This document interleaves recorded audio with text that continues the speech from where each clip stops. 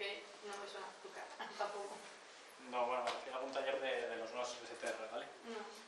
Eh, bueno, vamos a hacer un taller, la mayoría de los talleres que hemos hecho en STR, estos talleres son los talleres que hacemos pues, por, por simplemente por mm, la idea de compartir conocimiento, ¿vale? Y son con la idea de que la gente que viene los haga a la vez, ¿vale?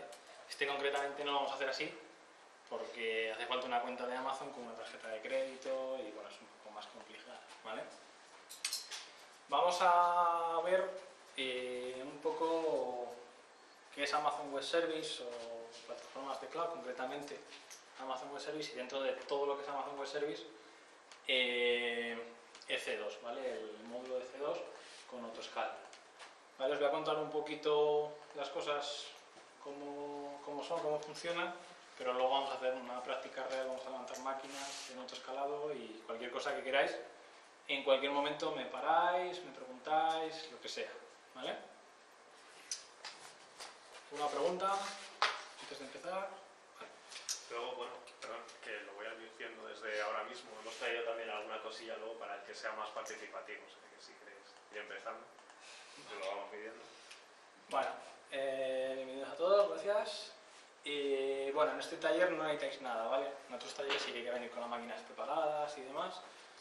Simplemente, bueno, esta presentación ya está colgada, ¿vale? En la página desde la que os habéis inscri- inscrito. Y se colgará luego el vídeo, si lo queréis volver a ver o bueno, que sea, ¿vale? Esto es lo que vamos a hacer, vamos a ver un poco qué es Cloud Computing, qué es Amazon Web Service, eh, cómo se crea una instancia y vamos a montar el autoscaling, ¿vale? Bueno, el cloud computing, cada uno cuenta lo que es a- según le viene en gana. Eso es lo que yo al final he visto en diferentes conferencias, entornos y demás.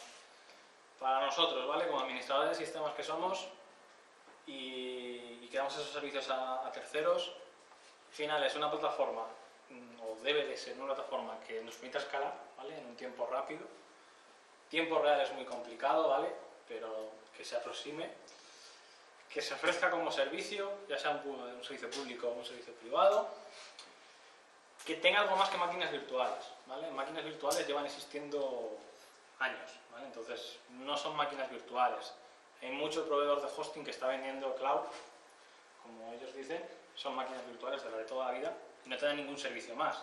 ¿vale? Lo único que terminamos con es en un momento dado ampliar la memoria RAM o ampliar la CPU en tiempo real o en un tiempo corto, pero no te da nada más. Entonces, estos dos servicios serían balanceadores, almacenamiento, sistemas de caché, etcétera, etcétera. Y un factor muy importante es que tengan API, ¿vale?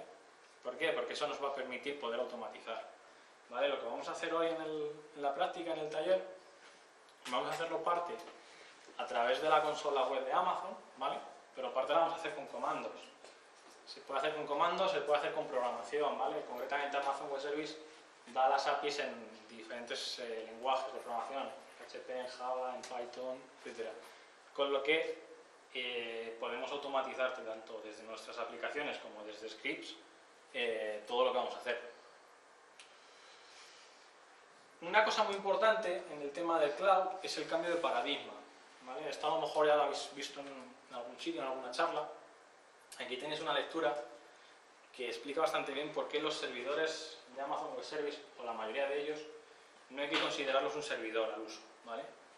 Está la comparativa de la mascota, ¿vale? que sería el perro que va con el pastor y le cuida y le ayuda, con el ganado. ¿vale? El ganado le criamos para, normalmente para sacrificarlo, en este caso pues para quitarle la lana, la leche, lo que sea, ¿vale? Pero realmente no se le tiene cariño. Pues esto es un poco un el, el cambio de paradigma del cloud computing. Los servidores han dejado de tener esa importancia que tenían antes y una máquina en un momento dado se puede morir, no pasa nada, se levanta otra. ¿vale? O si yo cojo y mato una máquina no debería de pasar nada. Eso es un poco la idea. ¿vale? Y ese es el cambio más complicado que tenemos que adaptarnos o concienciarnos cuando pasamos de un, entorno normal, ¿vale? históricamente hablando, a, a cloud.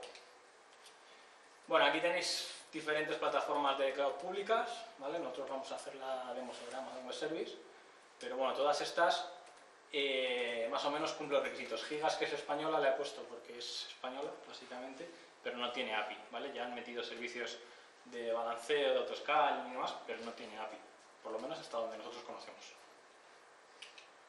Y bueno, tenéis ciertas plataformas, ¿vale? Esto es software libre, las cuatro, con las que podéis construir vuestras propias plataformas de cloud, ¿vale? Eso se llaman cloud privadas y cloud públicas.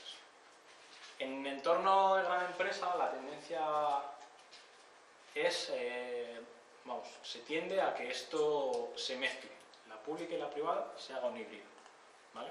Normalmente se monta OpenStack o Nebula, el que sea, como propio, ¿vale? En el data center de, de la empresa y se utiliza un cloud público para cosas concretas o para hacer un respaldo. ¿vale? Ya hay grandes empresas de, de España y del mundo que están haciendo esto. Bueno, vamos a hablar de Amazon Web Service. Amazon Web Service es una plataforma, como hemos dicho, de un cloud público, ¿vale? Que ha tenido un crecimiento muy rápido y que tiene una continua evolución, ¿vale? Todas las semanas sacan algo nuevo, ¿vale?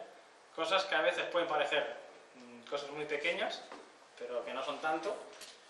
Y, pero también, por ejemplo, hace dos semanas fue el reInvent en Las Vegas y sacaron cuatro o cinco productos nuevos más modificaciones de, un montón de los ya existentes. Eh, casi con toda seguridad es la plataforma de cloud pública que más servicios de IaaS nos da. ¿vale? No está tan avanzada en PaaS, ¿vale? en PaaS hay plataformas más avanzadas que, Amazon. Pero en IaaS, que es infraestructura, infraestructura como servicio, eh, yo creo que es la más avanzada, posiblemente con Rackspace. Tiene soluciones para entornos web, para entornos de Big Data, de cálculo científico, cualquier cosa. ¿Vale? Una cosa importante que tiene Amazon Web Service es que es el núcleo a nivel tecnológico de infraestructura del propio Amazon.com. ¿vale? Esto les da una ventaja a ellos a la hora de innovar muy grande. Tienen el mayor e-commerce que hay en el mundo. Entonces, tener eso como base de pruebas, pruebas relativamente, lógicamente no, no hacen nada ciegas, pues ya les da. Y bueno, como dato, no sé si fue la semana pasada o anterior, Jeff Bezos hablaba de que seguramente sea el, el negocio más grande que tenga Amazon en los próximos años y con mayor margen de beneficio. O sea que es algo bastante importante para ellos. Todo se basa en pago por recursos utilizados, ¿vale? Es decir, si utilizo un giga de disco, pago ese giga de disco, si utilizo una máquina una hora, pago esa máquina una hora. Hay que tener en cuenta, que esto la gente lo desconoce, que todos los servicios en Amazon tienen limitaciones, ¿vale? ¿Qué limitaciones? Pues a nivel de, cliente. Es decir, yo no puedo coger, crear una cuenta nueva y el primer día levantar 200 máquinas, 200 instancias F2, ¿vale? Ahora veremos lo que son. Porque no me van a dejar. Y esas cosas hay que saberlas, sobre todo para calcular picos que vamos a tener ya previstos y cosas así, ¿vale? Todo tiene limitaciones, está documentado. Pero todo se puede solicitar, o casi todo se puede solicitar a Amazon, que te amplíen ese margen, para que en un momento dado, si necesitas más capacidad de procesamiento, más caché, más lo que sea, te amplíen esos límites. Pero hay que saberlo porque más de un susto ha habido con, no, si tenemos preparado esto para que crezca, si empieza a crecer y se acaba de crecer porque no tenéis permiso para, para ello. ¿Vale?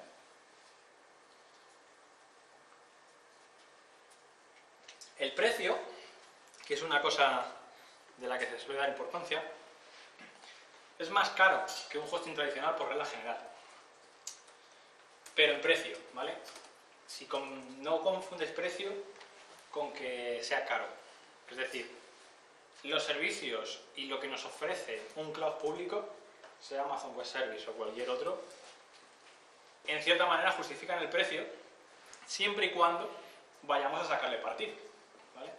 Por eso digo que no siempre es la mejor opción, ¿vale? Utilizar Amazon o Azure o cualquier cloud pública. Si no vais a sacarse el partido de los servicios y el extra que os da una plataforma como esta, pues no se justifica. ¿vale? Y bueno, hay un tema importante y es que el performance puede ser variable. ¿vale? No deja de ser una plataforma virtualizada. Entonces, si yo estoy en un host donde hay un vecino con una máquina que está dando mucha chicha, me afecta. ¿vale? En ese sentido, haciendo referencia a lo que hablábamos del ganado, no os cortéis. Si en un momento dado una máquina que tenéis está dando por saco, al contrario de lo que se hacía en el hosting tradicional, os la cepilláis y la levantáis. Y suele ser la mejor solución que ponerse a investigar y, y demás. ¿vale? Esto no lo digo yo, lo dice la propia gente de Amazon. Bueno, aquí tenéis algunos de los servicios. Eh, no sé cuántos servicios conocéis de Amazon. Estos son algunos básicos, ¿vale? Pero hay muchos más, ¿vale? Aquí faltaría VPC, por ejemplo. Eh, temas de de datos no relacionales. Bueno, tenéis EC2, que es computación, Route 53, que es DNS, caché, ¿vale? Que funciona a modo de caché. RDS son las bases de datos relacionales, que tenéis ahora mismo MySQL, Postgres, Oracle y SQL Server, ¿vale? CloudFront, que es un CDN, Glacier y S3 son almacenamientos. Esto es almacenamiento estático y esto es almacenamiento definitivo. Y CloudWatch, que es el sistema de monitorización. Pero ya, os digo que hay muchos más, ¿vale? Esto es un, un ejemplo simplemente. Aquí tenéis una arquitectura típica de un sistema web, ya un poco serio, ¿vale? En Amazon Web Service. Básicamente, el DNS, gestión de resolución de nombres, ¿vale? Que es Route 53. Tenemos el balanceador, que reparte carga entre una capa web, ¿vale? Los frontales web. Si os fijáis, estas flechas indican que hay autoscaling, ¿vale? Es decir, esta capa va a ir creciendo bajo demanda, ¿vale? Luego, bueno, hay balanceadores internos. Estos balanceadores, según este gráfico, serían instancias EC2, ¿vale? Y tendrán montado HProxy, LDirector, lo que corresponda, ¿vale? No son LBs. Una capa de aplicaciones, ¿vale? Con instancias EC2 más grandes, que también crecen autoescalado. Y luego tenemos un servidor base de datos con el servicio RDS de, de Amazon, con dos réplicas en sola lectura, ¿vale? Con esto podemos hacer eh, el split de escrituras y lecturas en, en, base de datos. Y luego por este lado tendríamos el CloudFront que nos hace de CDN, ¿vale? Para caché de contenidos, geolocalización, etcétera, que está soportado sobre Amazon S3, que como hemos dicho es un soporte de almacenamiento de, objetos estáticos. ¿Vale? Las regiones y las zonas de disponibilidad. Esto es un concepto también importante ¿vale? dentro de, Amazon, sobre todo porque afecta a, la, factura. ¿vale? Amazon tiene diferentes regiones, que son los puntos estos naranjas que tenéis aquí. ¿vale?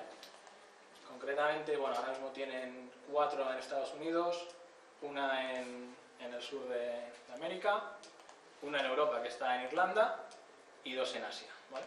Asia, Oceanía, estas medias. ¿vale? Los puntos azules son puntos de terminación de Amazon Web Service. Esto vale para que a través de partners locales tú puedes llegar a conectarte y montar una red casi física contra Amazon, ¿vale? De manera que tengas un ancho de banda considerable. En Madrid hay uno, ¿vale? Eh, las regiones no tienen conectividad física entre ellas, ¿vale? El tráfico que hay en una región a otra es tráfico de internet, ¿vale? ¿Eso qué quiere decir? pues que además de las latencias que puede tener, nos lo factura. Amazon factura por todo, bajo lo que utilicemos, pero factura por todo. Entonces, si yo tengo una instancia aquí en Europa y otra aquí en Estados Unidos, si las comunico, pago ese tráfico. ¿vale? Luego, dentro de cada región hay data centers, ¿vale? que son lo que llaman ellos las zonas de disponibilidad AZ. ¿vale? Entonces, concretamente en Europa, por ejemplo, que es la que nos pilla más cerca, hay tres zonas de disponibilidad. Son tres data centers separados por una distancia considerable, pero que sí que tienen conectividad física y la conectividad entre la comunicación entre ellos no tiene coste. Y Amazon Web Service falla. ¿vale? Eh, no os creáis que esto es que no falla. Falla, ¿vale? Como todo. Entonces hay que preverlo. Bueno, vamos a ver el servicio que vamos a ver hoy de Amazon EC2. Son, es el servicio de computación de, Amazon, ¿vale? Y bueno, básicamente tiene estos componentes. Máquinas virtuales, que son lo que llamamos instancias EC2. Imágenes, que son la cual, a partir de las cuales creamos las instancias. Eh, eh, almacenamiento efímero, que es almacenamiento que es volátil, luego vamos a ver. Almacenamiento permanente, que son los EBS, Elastic Block Storage. Seguridad perimetral, ¿vale? balanceadores y bueno, en Amazon las instancias por defecto tienen IPs dinámicas, pero podemos pedir eh, IPs fijas a petición, que son las Elastic IP, que llama Amazon. ¿vale? Respecto a las, a las AMIs, ¿vale? a las Amazon Machine Images, son imágenes que tienen el, disco- el- el sistema operativo y ya parte de la configuración ¿vale? de, de la máquina que vamos a arrancar. Eh, tenemos AMIs públicas y privadas. Las públicas podéis buscarlas y hacerlas uso de ellas, ¿vale? lanzar una instancia a partir de ellas. Y las privadas serían vuestras, ¿vale? o que hayáis comprado de alguna manera. ¿vale? Hay un, un marketplace donde podéis encontrar eh, AMIs de todo tipo, ¿vale? ya hay AMIs hasta de, de SAP, ya se puede utilizar SAP bajo demanda, pagando por las horas que lo utilizo. ¿vale? Y la mayoría de estas AMIs se, eh, se utiliza el modelo de pago por uso, ¿vale? sea de lo que sea.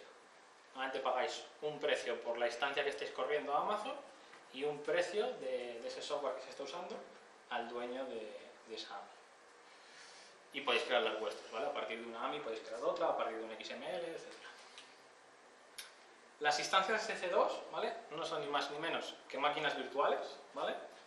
Concretamente Amazon eh, virtualiza sobre ¿vale? Son máquinas virtuales de Xen, si habéis montado alguna vez un Xen server, por ejemplo, pues es, es esto. Y al crear una instancia C2 definimos su tipo, ¿vale? El tipo de una instancia define la cantidad de CPU, de RAM, de IO, de red, ¿vale? Que va a tener esa instancia. Es importante tener en cuenta que además de la CPU y la RAM, que es lo que vemos en la tabla de Amazon muy claro, ¿vale? El tamaño de la instancia también nos va a delimitar el- la capacidad del caudal de red que tenemos y el caudal de IO, ¿vale? De entrada-salida. Ya que os puede afectar pues, en temas de bases de datos, por ejemplo, de replicaciones, etc. Para lanzar una instancia utilizamos una AMI, A partir de una AMI se crea la instancia y las instancias pueden arrancar o bien de almacenamiento que se llama instancia storage, ¿vale? Es efímero. ¿Qué quiere decir eso? Arrancáis una máquina, ¿vale? A partir de una AMI, arranca, hacéis lo que sea en la máquina, la apagáis y lo que habéis hecho desaparece, ¿vale? Ese almacenamiento desaparece. O con, con discos de red que se llaman Elastic Block Storage, ¿vale? Que ese sí es persistente. Son volúmenes de disco de- a nivel de red. Las instancias CC2 tienen IP dinámica, ¿vale? Por defecto. Una IP privada, una IP pública, y lo que se hace es un NAT de la IP pública a la IP privada, ¿vale? Cada vez que levantáis una instancia C2, automáticamente se le asigna una IP, tanto pública como privada. Localmente en la máquina solo vais a ver la privada, ¿vale? La pública se hace NAT, ah, lo hace Amazon. Se pueden poner IPs públicas eh, fijas, ¿vale? Como os he dicho antes, de Elastic IP, y también se pueden poner IPs privadas fijas si utilizáis otro servicio de Amazon que se llama VPC, ¿vale? Que sirve para crear redes virtuales y demás. Eh, podemos utilizar Linux y Windows. He oído por ahí que ya montan Solaris y otras cosas, pero principalmente Linux y Windows.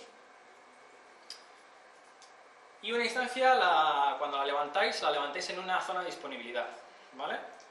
Podéis comunicarla con cualquier otra instancia que esté en otra zona de disponibilidad por, por red local, ¿vale? Por red privada.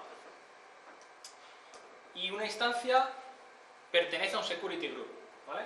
O está alojada en un security group, ¿vale? Eso quiere decir que las reglas que habéis puesto en el security group, que es el firewall que vamos a ver, le aplican a, a esta instancia, ¿vale? Bueno, el, el- el Elastic Block Storage o EBS es el almacenamiento persistente, ¿vale? Que, que le añadimos a, a la máquina, incluso puede arrancar de ella. Es un almacenamiento de red, se presenta a la máquina como un dispositivo de bloques, es decir, lo vais a ver como un barra red de SDA, por ejemplo, ¿vale? Se pueden realizar snapshots de estos EBS, ¿vale? Y estos snapshots se guardan en Amazon S3, ¿vale? Lo que ya nos da una garantía de durabilidad, ¿vale?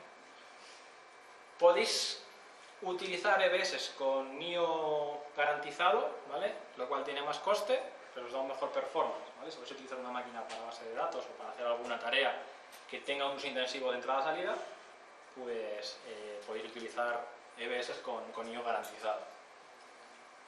Y bueno, podéis llegar a montar en la misma máquina varios EBS, ¿vale? Y configuraros vosotros un RAID 0, por ejemplo, para ganar performance. ¿vale?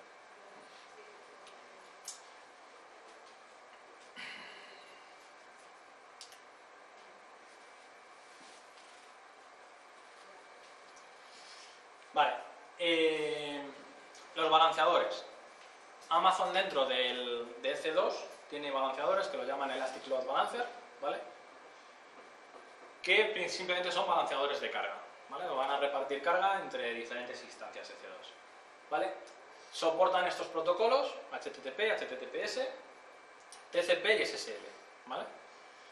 Una cosa importante es que pueden hacer la terminación SSL, eso quiere decir que podemos subir nuestro certificado al balanceador, el balanceador hace la terminación SSL y con nuestras instancias habla en HTTP, por ejemplo, ¿vale? Si hablamos de un HTTPS. Si necesitamos tener seguridad extremo a extremo, eso no valdría, ¿vale? Pero en muchos casos es suficiente y eso nos quita que en la máquina tengamos el procesamiento de, la parte de encriptación. En el balanceador añadimos las instancias en las que queremos repartir tráfico. Tiene los probes o los chat-hell que llaman eh, configurables. Esto básicamente es comprueba esta URL para saber si la instancia está funcionando bien o no y para enviarle tráfico no sé, pueden enviarle. Y bueno, tenemos balanceadores que son accesibles de internet, pero también podemos crear, si utilizamos VPC, balanceadores internos. Los security groups, que ya hemos comentado antes, básicamente es un firewall perimetral, ¿vale? Para que hagamos el seeding. Metemos una instancia dentro de un security group y tiene unas reglas de firewall. Si esas reglas permiten tráfico, pues llegará a la instancia y si no. Eh, hay una cosa interesante de los security groups, es que podéis definir las reglas por IPs y puertos, lógicamente, tanto entrantes como salientes, pero también lo podéis definir por otros grupos de seguridad, ¿vale? Cada grupo de seguridad, cada security group, tiene un identificador. Entonces podéis poner que tal security group le permite el acceso a una IP puerto. Y eso es lo bueno que podemos comunicar incluso con terceros. Es decir, si yo tengo un cliente, un proveedor que también está en Amazon y queremos hacer una comunicación, aquí tenemos ya una comunicación por red privada, ¿vale? Que se podría llegar a hacer. Eh, el autoscaling. Esta ya es la parte que vamos a ver en, en la práctica, ¿vale? Si queréis os enseño primero un poco la un poco de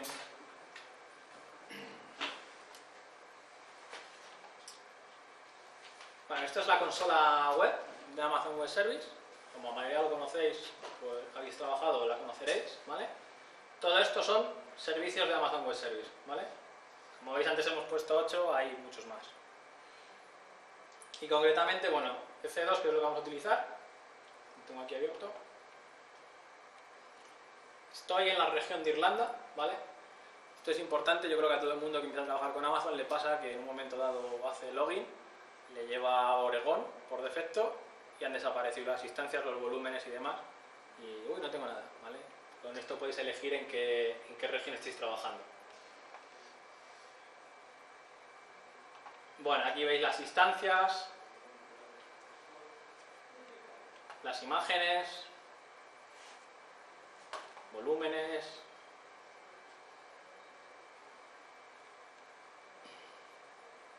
Bueno, tenéis los snapshots, los grupos de seguridad, las IPs elásticas o las IPs fijas, balanceadores, etc. ¿vale? Eh, una cosa que no hemos explicado, por si a alguien le interesa, las instancias tenemos tres tipos de instancias, ¿vale? Instancias EC2. Están las instancias normales o bajo demanda, que es yo levanto una máquina y me cobran por ella a un coste por hora, ¿vale? Las spot requests son instancias que funcionan a modo de subasta. Es decir, yo digo que levantes esta máquina, ¿vale? Siempre y cuando el coste por hora sea inferior a una cantidad que yo fijo. Entonces, ¿para qué vale esto? Pues eh, Amazon tiene picos, lógicamente, y entonces tienen horas en las que tienen infrautilizada su, su infraestructura. En esas horas bajan el precio de- del coste por hora, y si tú estás utilizando instancias de este tipo, pues puedes utilizar, hacer procesamiento eh, y te sale más barato. Por ejemplo, esto yo conozco que se está utilizando pues, para temas de cálculo científico y cosas así, que no tienen un plazo concreto para, para hacer, pues se utiliza de esa manera. Y bueno, luego las reservadas, las instancias reservadas, son eh, instancias por las que pagáis un- una cantidad como de alta, ¿vale? Y luego el coste por hora es inferior que del coste normal. ¿Para qué nos valen? Pues si tenéis muy claro que vais a utilizar una instancia durante todo el año de un tamaño concreto, podéis pagar el, alta, ¿vale? Y hacer uso de ella. Hay que tener pensado, o por lo menos los meses que amortizas ese, ese alta, ¿vale?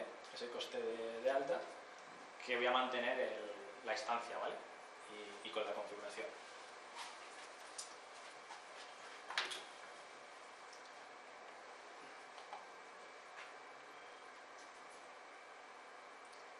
Vale. Yo tengo aquí una instancia de tipo micro, ¿vale? Las instancias micro son las más pequeñas y, son las... ¿Conocéis lo que es el Free Tier de Amazon? Vale, Amazon Web Service os registráis, os piden la tarjeta de crédito, pero durante 12 meses os dan lo que ellos llaman el Free Tier, ¿vale? Un periodo de uso gratuito donde os dan una serie de horas de procesamiento, una serie de gigas de, de EBS, una serie de tráfico y demás, gratuitamente durante 12 meses. Estas instancias, las micro, son las que se pueden utilizar dentro de, esa capa gratuita que tiene, que tiene Amazon. Son instancias muy pequeñas. Con muy poca memoria, con muy poca CPU. De hecho, la CPU es compartida, incluso es un core compartido entre varios clientes. Pero bueno, para probar y para ciertas cosas es suficiente.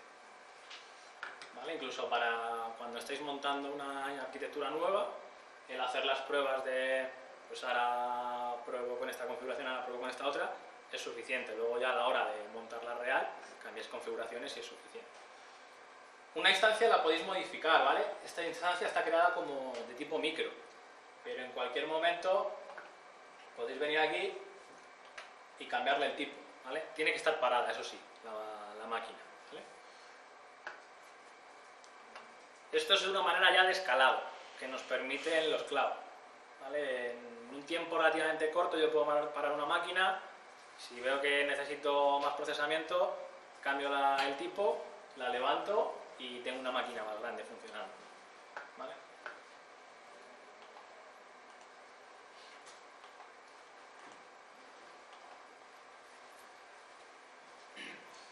Bueno, pues como habéis visto dándole a las opciones, las acciones, el start, la máquina empieza a arrancar. ¿vale? El arranque de la máquina eh, no es excesivamente rápido, pero bueno, en cuestión de 3-5 minutos, depende del día y el momento, pues normalmente está operativo, ¿vale? Tenéis aquí los status checks, que tiene que pasar dos, ¿vale? Para que la máquina esté disponible. Uno básicamente, el primero de ellos, es el que chequea internamente Amazon a partir de SEM, ¿vale? De que ha creado la instancia de la máquina. Y el segundo es la red, ¿vale? Que la red está disponible. Fijaros que aquí me ha asignado ya una IP pública, ¿vale?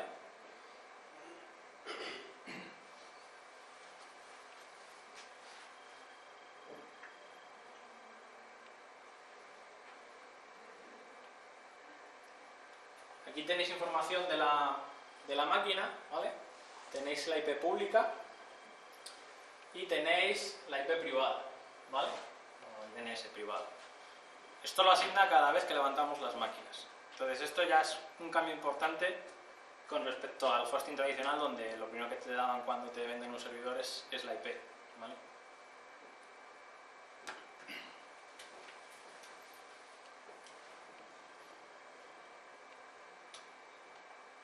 voy a levantar esto también.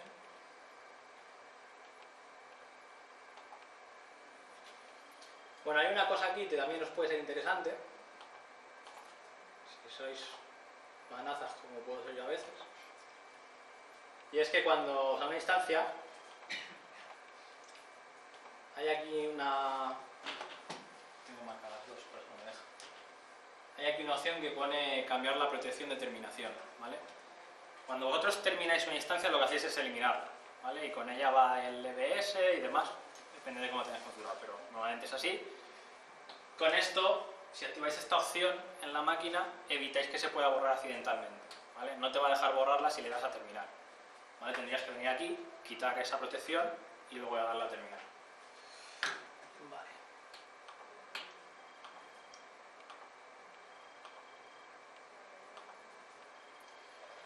Entrar a esta máquina.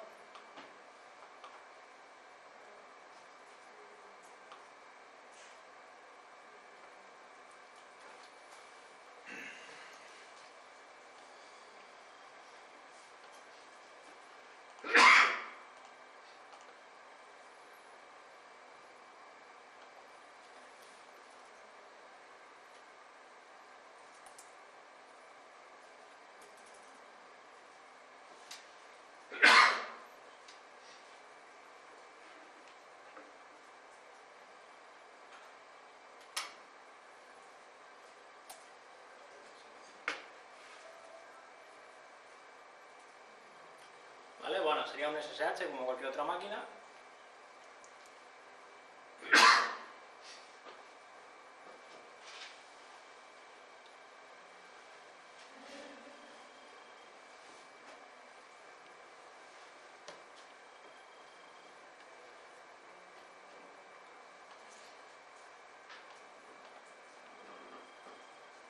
Un segundo.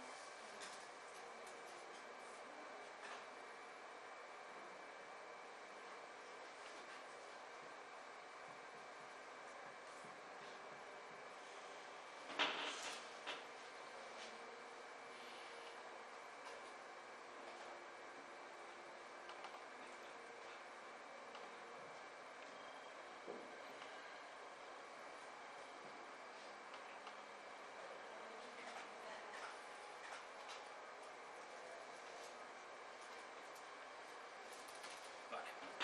Dentro de la máquina. Y bueno, pues esto es una máquina Linux normal y corriente, concretamente es una Debian, ¿vale? Una Debian 7. ¿Vale? Y la otra que he levantado es un poco complicado lo de estar trabajando así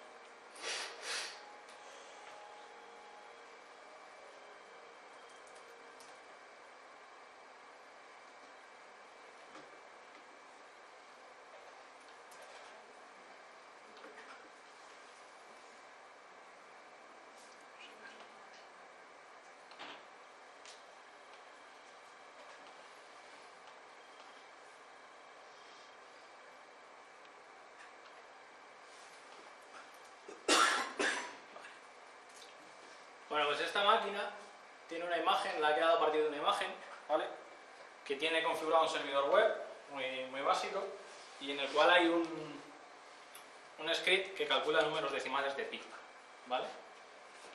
Entonces vamos a utilizar esta máquina para hacerle peticiones, ¿vale? Eh, para que veáis cómo va a subir la carga y a partir de ahí luego la vamos a configurar en autoscaling para que veamos cómo crece, ¿vale? Vamos de tiempo.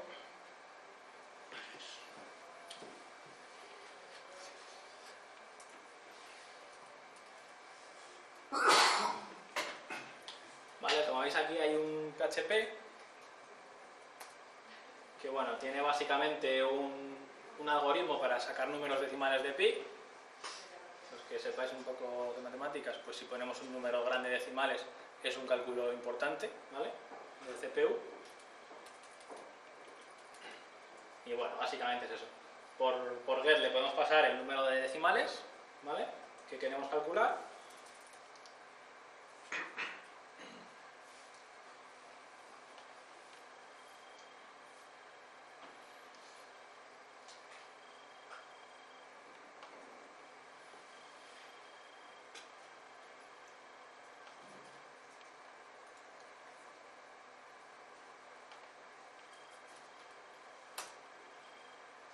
Bueno, si accedo a ella, ¿vale? A la máquina vía web, pues tengo aquí el enlace al cálculo.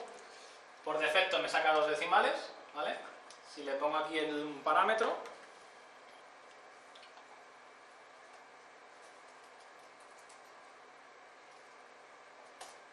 pues ya me calcula 100, ¿vale? ¿Veis bien o amplío el tamaño? Sí, mejor, ¿no? ¿Vale? Le he dado que me calcule 100 decimales, me ha sacado ya los 100 decimales primeros de pi, y bueno, pues está tardado, no llega un segundo, ¿vale? Si esto lo aumentamos, pues vamos a ir viendo que el tiempo se va incrementando, ya estamos casi en medio segundo, ¿vale? Con 500 decimales.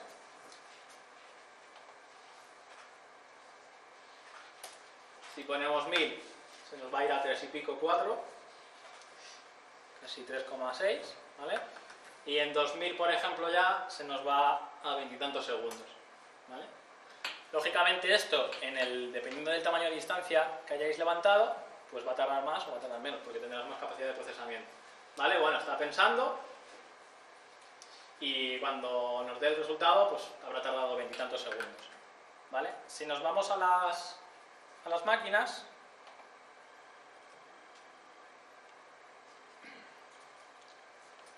abrimos Nmon, no sé si lo conocéis, una herramienta de monitorización en tiempo real.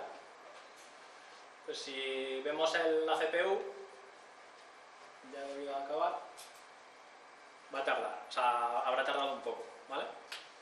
Vamos a hacer una cosa. Antes de hacer autoscaling, desde esta otra máquina, que la tengo precisamente para, para machacar, vamos a hacer una serie de peticiones, ¿vale? Con una herramienta que se llama Siege, es una herramienta para generar carga web. Vamos a hacer una serie de peticiones a, a la otra máquina, ¿vale? A que haga cálculos de decimales de pi.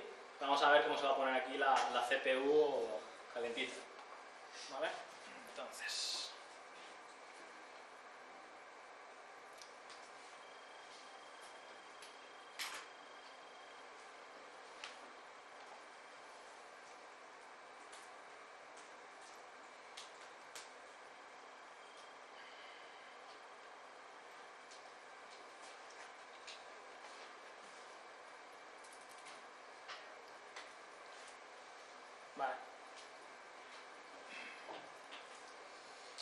Con menos C lo que le digo a Siege es cuántos clientes concurrentes voy a tener, ¿vale? Estoy simulando clientes web. Con menos T lo que voy a decir es cuánto tiempo quiero que se ejecute la prueba, va a estar haciendo en bucle peticiones, ¿vale? Con cero digo que no acabe, vaya a matar yo cuando considere. Y le digo que me haga peticiones, de momento, con 10 decimales. ¿Vale? Entonces va a lanzar peticiones. Aquí, si vemos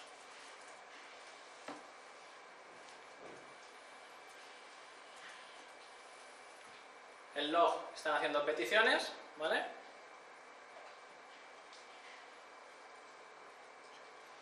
Si abrimos el Nmon mostramos la CPU, pues la carga no es muy alta, ¿vale? Hemos pedido 10 decimales, hemos visto antes que tardaba 0,00 algo, no es muy grave. Lo aguanta, ¿vale? Nos ha dado el 100% de transacciones válidas, ¿vale? De disponibilidad, no hay problema. Vamos a complicarlo un poquito, vamos a poner 200.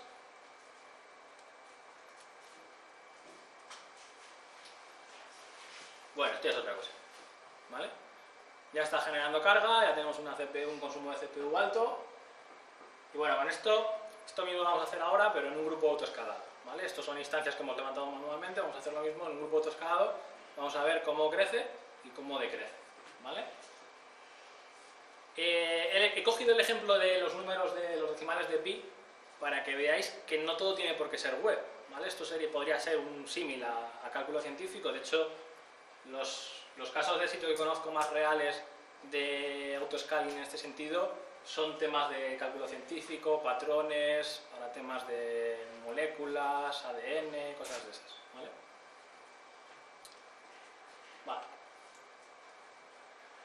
Y bueno, aquí tenemos un 100%. Si ponemos esto, si lo lanzamos con una burrada, ¿vale? veremos que llega un momento en el que incluso vamos a perder eh, peticiones, ¿vale? Va a empezar a dar errores eje porque, por timeouts de conexión, ¿vale? ¿Alguna duda hasta aquí? A mí me ha surgido una, como lo que has de la vez, es una, es una IP, la que a base de la distancia y una, una IP distinta. Eso no genera ningún problema con, con la transmisión del DNS cuando tienes un, un dominio internet. Eh, errores de conexión. Eh, a ver, sí, es un cambio de, es lo que decía al principio, es un cambio de paradigma, ¿vale? Estamos acostumbrados a que el, el DNS le, le configuramos y se queda ahí, salvo que hagamos una migración de hosting o algo así. En las máquinas EC2 nosotros, por ejemplo, lo que hacemos, eh, no siempre, ¿vale? Depende de cada caso, es distinto. Pero nosotros, por ejemplo, lo que hacemos es que utilizamos Route 53, ¿vale? El servicio de DNS de Amazon, y entonces cuando la máquina levanta, ella misma, a través de la API de Route, actualiza el DNS, ¿vale? Pero luego, además, si utilizas balanceador, que vamos a utilizar, el balanceador sí tiene una URL estática, ¿vale? Con lo cual tú puedes hacer un cename en tu DNS al balanceador y no necesitas tener que estar cambiando, ¿vale? Concretamente lo que vamos a hacer ahora en el autoscaling, las máquinas cuando se levantan las instancias EC2, ellas mismas se conectan al balanceador pero, y, son, y el balanceador sabe dónde están, sabe su IP, pero el balanceador tiene un DNS fijo. Ese DNS lo utilizamos en nuestro dominio como un cename y ya está, ¿vale? La única pega ahí es en el dominio raíz, ¿vale? Si tú quieres poner dominio.com en vez de www.dominio.com, muchos proveedores de DNS, por, por, lo que dice la RFC además, no permiten apuntar el, la raíz de un dominio a un CNAME. Tiene que ser un registro de tipo A, que es una IP, ¿vale?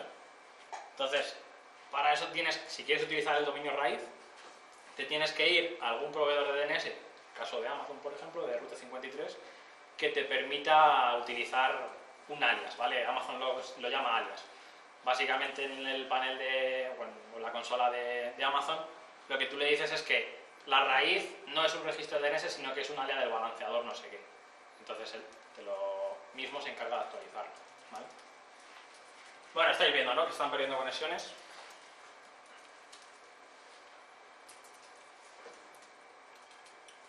Vale. Vamos a jugar a...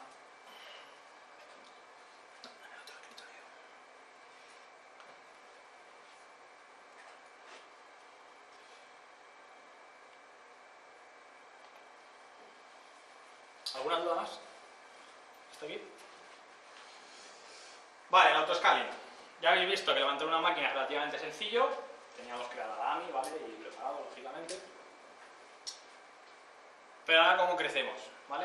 Podemos crecer de varias maneras. Podemos crecer como hemos hecho toda la vida. Yo podría levantar 3, 4, 5 máquinas a partir de una, misma imagen, configurarlas, poner el balanceador y repartiríamos la carga. ¿Vale? Y eso valdría. Valdría, pero si necesitamos ampliar, tendríamos que volver a hacerlo manualmente. Si lo queremos hacer de manera dinámica, Amazon nos provee de, de un servicio que es autoscaling, ¿vale? Que nos permite casi en tiempo real, no es tiempo real porque en Amazon no hay nada que sea tiempo real, todo va con colas y demás, a veces que las cosas tardan 10 segundos y a veces tardan 20, ¿vale? Eh, escalar la capacidad de procesamiento, ¿vale? ¿Eso qué significa? Crecer en instancias EC2 o reducir, ¿vale? Eso nos genera un ahorro de costes. ¿Cuándo nos genera un ahorro de costes? Cuando realmente tenemos un servicio, por ejemplo, si hablamos de una web, que tenga picos muy grandes, ¿vale? Es decir, yo siempre digo que si tienes una web de noticias cuyo tráfico son 2 megabits prácticamente planos, no tiene mucho sentido montar esto, ¿vale? Ahorro de costes es, eh, hoy tengo 1000 visitas, pasado mañana se voy a tener 200.000 y dentro de 3 días 3 millones, ¿vale? Pero luego voy a volver a bajar a 200.000, eso es, ¿vale? Aumenta la seguridad y disponibilidad del negocio, ¿vale? Autoscaling lo podemos utilizar no solo para crecimiento o de crecimiento de computación, sino también para que Amazon se encargue de tener mis máquinas de pie, ¿vale? Levantadas. ¿Por qué? Porque si una máquina está fallando, la va a machacar y va a crear una nueva, ¿vale? Para cumplir el mínimo que yo tengo en mi grupo autoescalado, ¿vale? Que es lo que vamos a definir ahora. Hay tres tipos de escalado, ¿vale? Dentro de AutoScaling. El primero de ellos es por horarios, ¿vale? Pues yo qué sé, yo sé que mi negocio requiere que todos los miércoles y jueves triplique la capacidad de procesamiento, por la razón que sea. Pues eso se puede programar. Yo puedo decir que el lunes de madrugada se levanten máquinas y el miércoles de madrugada se, se apaguen máquinas, ¿vale? Eso sería un escalado por, por programado, por horarios. Puedo hacer dinámico, que es lo que vamos a hacer aquí ahora, ¿vale? Dinámico en base a qué? En base a unas métricas, ¿vale? Esas métricas pues se definen, ¿vale? Pues cuando la CPU esté por encima de tal o por debajo de tal, o también podríamos hacerlo en base a, otros datos que, que podamos eh, medir, ¿vale? Desde, desde Amazon. Y lo puedo hacer manual. Yo puedo tener definido un grupo autoescalado, ¿vale? Preparado para que en un momento dado con una instrucción incremente el, o incluso que sean mis aplicaciones las que hagan ese autoescalado. En vez de depender del sistema automático de Amazon, yo puedo tener mi propia monitorización, mi propia programación que gestione el, escalado. No tiene gestión desde la consola web, ¿vale? Esto es importante. Hay que hacerlo o bien línea de comandos o bien con programación, ¿vale? A fecha de hoy. ¿Cómo montamos autoscaling? Pues básicamente, para definirlo, tenemos que crear una configuración de autoescalado, ¿vale? Lo que llama Amazon Launch Configuration, que es indicar la AMI, la imagen que vamos a utilizar para las nuevas máquinas, ¿vale? ¿Qué security group va a tener esa máquina? ¿Qué tipo de instancias vamos a levantar? Si son micros, si son medium, si son grandes, si son, por ejemplo, Amazon tiene unas instancias cuya máquina física tiene una tarjeta gráfica potentísima y puedes utilizar esa GPU para hacer cálculo numérico, ¿vale? La clave de RSA, etcétera, ¿vale? Grupos de autoescalado sería lo segundo que definiríamos. El grupo de autoescalado básicamente nos dice dónde hay que levantar las máquinas, en qué zonas de disponibilidad, ¿vale? Si son en, Europa, dentro de Europa, en qué zonas, si son en Estados Unidos, si son en Sao Paulo, donde sea, ¿vale? ¿A qué balanceador se van a unir? Si es que hay balanceador, no es obligatorio. ¿Qué algoritmo vamos a utilizar a la hora de eh, compactar eh, capacidad de procesamiento? ¿Esto para qué vale? Eh, Amazon da, si no me equivoco, cuatro algoritmos ¿vale? para, para reducir máquinas.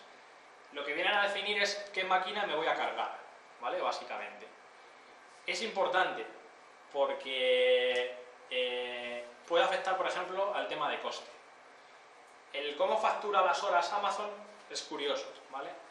Amazon factura las horas de en punto a en punto. Entonces, si levantáis una máquina i54 y la pagáis a i3, pagáis dos horas. ¿vale? Entonces, uno de los algoritmos que, tiene Amazon es apágame la que más eh, económica me suponga, ¿vale? Es decir, la que más complete el ciclo de, de hora, ¿vale? Luego está la, que, la última que haya levantado, etc. Hay cuatro, hay cuatro algoritmos que, que se pueden ver en la documentación. Las políticas, ah, y puedo aplicar varios algoritmos ¿vale? en cadena. Luego defino las políticas de autoscaling. Las políticas de autoscaling lo que definen es cómo escala mi grupo autoescalado, ¿vale? Y en base a qué. Y por último hacemos uso de monitorización, ¿vale? Si utilizamos todo por parte de Amazon, utilizamos el servicio de Amazon que se llama CloudWatch, ¿vale? Que es la monitorización propia de Amazon. Aquí tenéis un ejemplo, ¿vale? De cómo funcionaría lo que vamos a hacer ahora mismo. Y es, yo tengo una máquina S2, ¿vale? Que, bueno, pues está bastante cargadita, ¿vale? Eh, en la monitorización, que sería este bloque, CloudWatch, dice que la máquina está cargada, entonces lanza una alarma y esa alarma va a generar que el grupo autoescalado crezca. Esta máquina que veis aquí transparente sería la que se está creando, ¿vale? ¿Cómo se crea esta máquina? A partir de una AMI, ¿vale? Entonces esta AMI, que viene de Amazon S3, las AMI siempre se guardan en Amazon S3, que es transparente a nosotros, me traigo la AMI, creo la instancia, la vinculo al balanceador y cuando ya todo eso está funcionando, ¿vale? el balanceador decide que la máquina ya está respondiendo correctamente, la empieza a enviar tráfico. Y así podríamos crecer en el número de máquinas que, necesitemos. ¿vale? A la hora de crecimiento, si tenemos como base la alta disponibilidad, ¿vale? Hay que tenerlo en cuenta para que el grupo autoescalado utilice al menos dos eh, zonas de disponibilidad distintas, ¿vale? Aquí, bueno, tenéis un ejemplo con eh, Estados Unidos este 1B y Estados Unidos este 1C, ¿vale? Básicamente, ¿qué es lo que hago? Pues yo digo que mi grupo autoescalado va a utilizar estas dos zonas, ¿vale? Y entonces va a ir levantando máquinas en ambas zonas, de manera que si hay una incidencia grave en uno de los CPDs y yo me cargo este CPD, por lo menos tengo una parte importante, normalmente va a ser cercana al 50% si son pares y si todas las instancias son del mismo tamaño, en el otro CPD, ¿vale? Y evito tener una, una caída más grave de lo que podría ser, ¿vale? Y por último, bueno, explicaros el concepto de cooldown, ¿vale? Que, es importante porque si no se entiende puede parecer a veces que los sistemas de autoescalado no están funcionando, ¿vale? El cooldown es una cosa que definimos en el grupo autoescalado, ¿vale? Que define cuando se hace una acción de autoscaling, ¿vale? Ya sea de crecimiento o de decrecimiento, cuánto tiempo tiene que pasar para volver a hacer otra operación de autoescalado. Esto es un tema de seguridad. ¿Por qué? Porque si no en cuestión de minutos podríamos coger y levantar 100 máquinas, ¿vale? ¿Para qué vale? De manera más práctica. Yo defino una regla de que si la CPU se pone por encima del 70%, que es lo que vamos a hacer ahora, me levante máquinas, ¿vale? Si eso lo compruebo ahora mismo, le doy a lanzar una máquina, hemos dicho que una máquina tarda en ponerse en funcionamiento unos minutos, y a los minuto y medio, que todavía no termina de lanzarse, compruebo otra vez, me va a levantar otra máquina, pero realmente no he dado tiempo a que esta máquina esté funcionando. ¿Vale? Y si eso es así en el tiempo, pues podríamos llegar a levantar seis máquinas cuando a lo mejor con dos o con tres era suficiente. ¿Vale? Entonces, eso es el, el, el cooldown, ¿vale? El tiempo. ¿Cómo funciona? En este punto se ha lanzado, no, no lo veréis bien, pero aquí pone que hay un lanzamiento de una alarma, ¿vale? Entonces esa alarma está diciendo que cambiemos de cero máquinas que había inicialmente a una, ¿vale?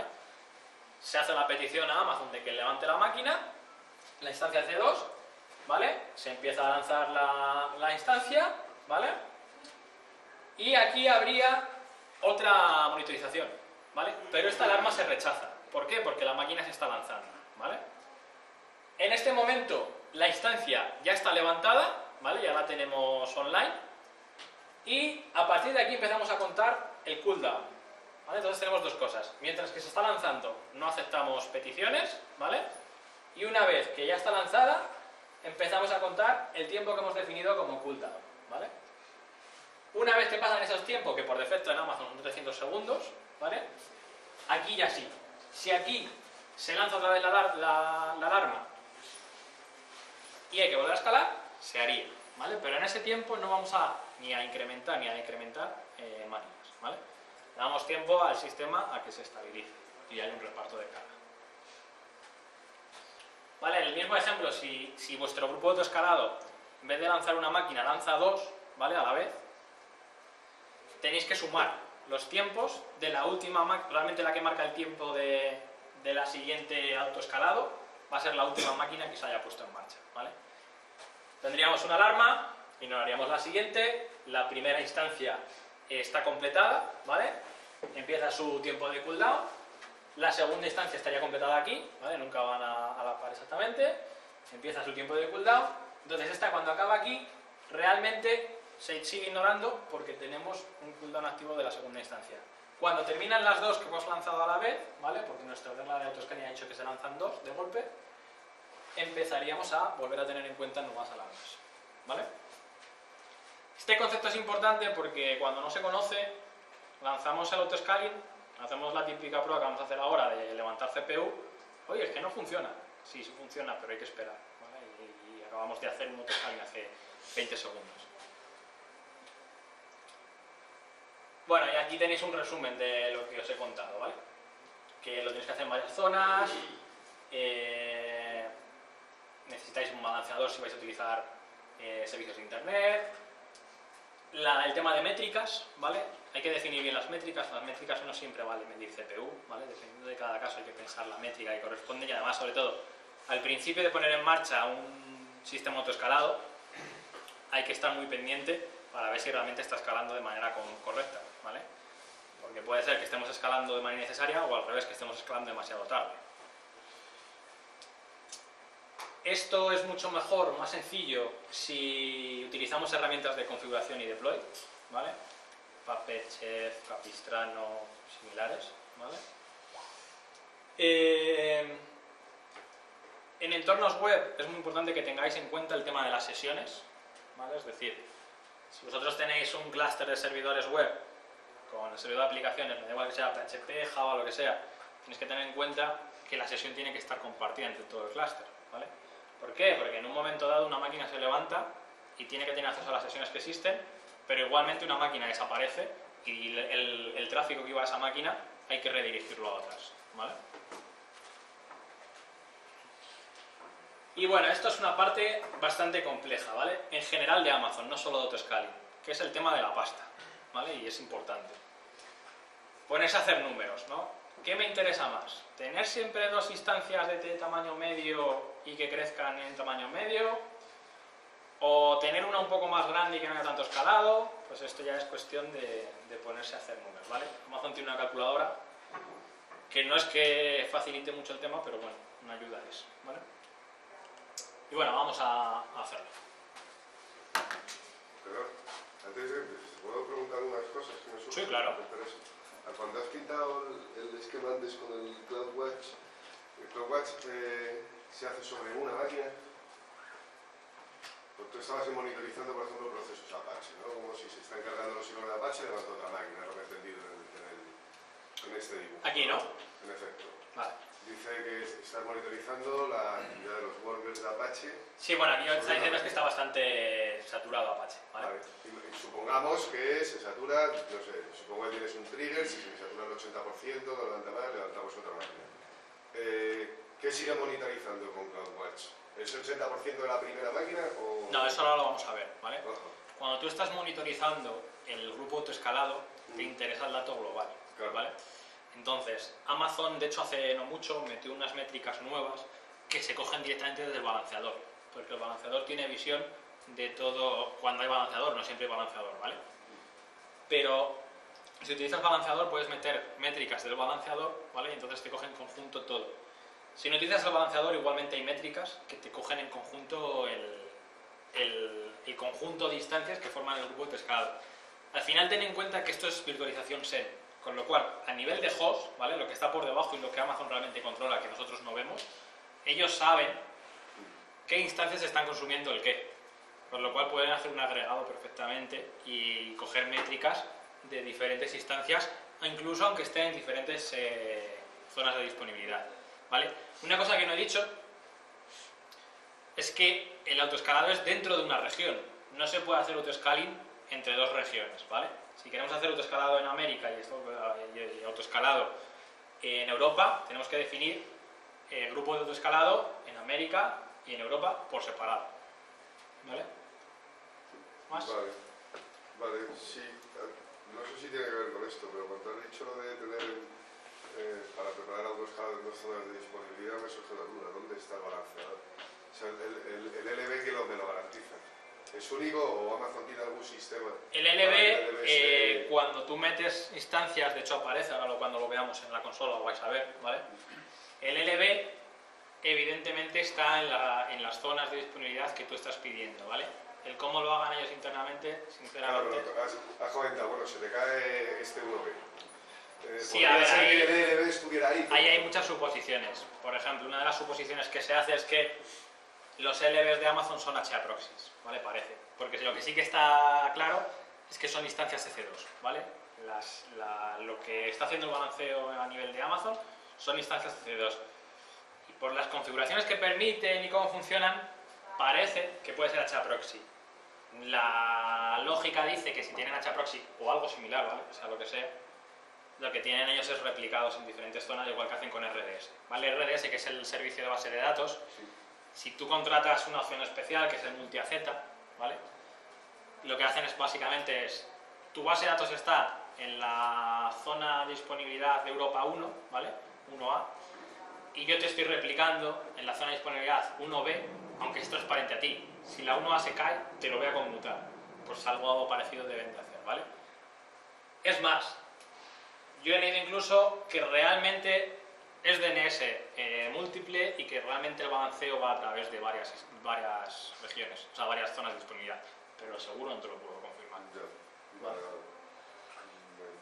Sería tan sencillo como ponerse a hacer pruebas de DNS a un mismo balanceador a ver si nos va devolviendo diferentes rutas o, o tal. ¿Vale? ¿Alguna duda más? El, el tema de que levanten dinámicamente y cojan la IP que les parezca conveniente, eso se puede de alguna manera controlar. Me explico, eh, mm, la- nosotros tenemos un montón de máquinas que levantan eh, a petición, pero claro, todas cogen una IP que les hemos dicho para poder hablar con ellas, para que puedan trabajar en grid al final. O sea, Ujú. Puede que esté, que no esté, pero si están tienen una IP que yo sé cuál es. No es la que a ellos les parece conveniente. Yo lo que hago es asignarla vía Mac. O sea, yo sé qué Mac tiene y entonces tengo pues... Pero no me estás hablando de Amazon. No, no, no, no, no, pero eh, eh, Sí, sí. es para lo cual estamos aquí.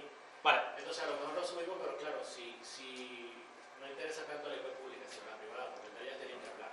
Vale, no hay ningún problema porque hay un servicio que ya he comentado un par de veces, aquí no lo vamos a usar ahora, ¿vale? En la demo, pero hay un servicio que se llama VPC, ¿vale? Que es el Virtual Private Cloud, ¿vale? Que te permite definir redes propias, ¿vale? Una red totalmente definida eh, y ahí tú puedes definir sus redes. Entonces tú puedes decir que en la zona A, ¿vale? De Europa, utilizas la subred lo que sea. Y a la hora de levantar una máquina, una instancia C2, si estás utilizando VPC, ¿vale? Aquí no lo voy a poder enseñar porque no tengo montado VPC en esta cuenta. eh, tú puedes decir que esta máquina concretamente tenga una IP. Pero eso no lo puedes definir en autoscala. O sea, es distinto el escenario de tener 100 máquinas ya preparadas y que se levanten cuando lo consideres, por ejemplo, mediante programación, que lo podríais hacer, a que hagan autoscaling. El autoscaling siempre tiene que ser IP dinámica, ¿vale? Porque las máquinas no están creadas, se crean y se destruyen. ¿Entiendes? O sea, no se pueden hacer de... No, ahí normalmente lo que se hace es que con herramientas de configuración, ¿vale? Como, como he puesto aquí, tipo eh, Puppet, Chef o similares, eh, Ansible, o sea, el- el- no sé, la que utilicéis, el proceso cambiaría. Y lo que harías es que una máquina cuando se levanta, sería ella la que informa al clúster de que está, se daría de alta y el resto de máquinas lo sabrían a partir de ese momento siempre y cuando la misión de todas las máquinas sea la misma. Si hablamos de máquinas de misión específica, tendrían que estar creadas, ¿vale? O por lo menos eh, tendrías que tener una imagen para cada una de ellas. ¿vale? Al final, cualquier entorno que, o casi, ¿vale? no voy a decir cualquiera porque eso es muy arriesgado, pero casi cualquier entorno que tengáis en otro tipo de hosting, se puede adaptar aquí, normalmente se puede mejorar, pero lleva trabajo. O sea, yo siempre digo que la curva de entrada a un Amazon Web Service no es me pongo y mañana estoy funcionando directamente. Eh, hay mucha tela, ¿vale? Por ejemplo, utilizar el VPC de no utilizarlo, esto mismo que vamos a hacer hoy, cambian ciertas cosas. Son detalles, pero si no lo sabes, no te va a funcionar. O sea, tú vas a seguir lo que vamos a hacer hoy aquí, pero lo montas en VPC y no va a funcionar. ¿Vale? Entonces, pero se puede hacer. Lo único que ya te digo es cambiaría un poco la manera. Una máquina se levanta, se autoconfigura y entonces le dice al cluster, eh, que ya estoy aquí, enviarme peticiones. No sé lo que es concretamente tu caso, si quieres luego lo, lo comentamos. ¿Vale? ¿Alguna cosa más? Igual lo vas a contar ahora, pero eh, igual que se van abriendo las instancias, luego cómo se van matando, se matan solas no hay tráfico. Mm, desaparece. O sea, cuando una cuando llegas, igual que tienes una métrica para crecer, tienes una métrica para, para decrecer, ¿vale? Entonces, cuando se llega a ese umbral, lo vamos a ver, pues las máquinas empiezan a, destruir. Por eso digo que no hay que, lo de, la ovejita, ¿no? Que la máquina aparece y desaparece, ¿vale? ¿Seguimos?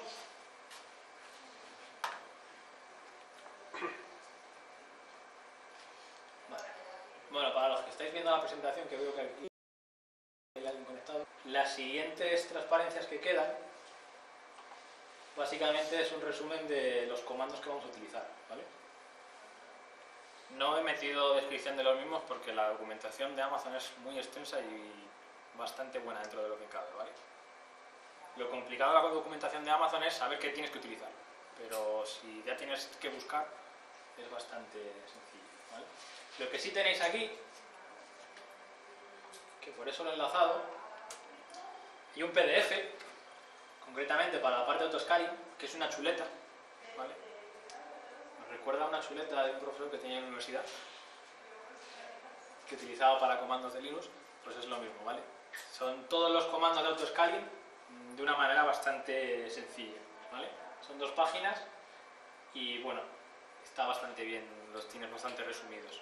Si quieres mirar algo en detalle, lógicamente esto no te vale, pero bueno, para, para mirar cosas básicas, está, lo tenéis aquí, ¿vale? Vale, pues vamos a hacer la práctica. Eh, No, no. Vale.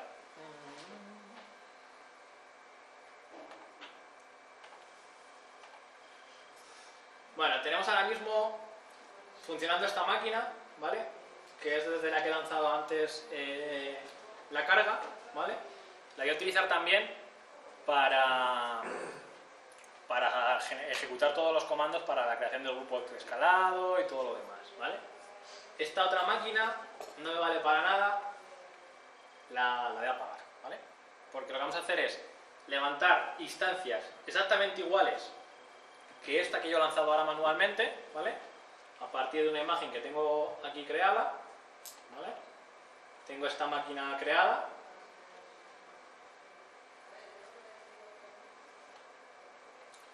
¿Vale? Esta AMI es una imagen de, la instancia, ¿vale? Si alguien tiene curiosidad, crear una AMI es tan fácil como que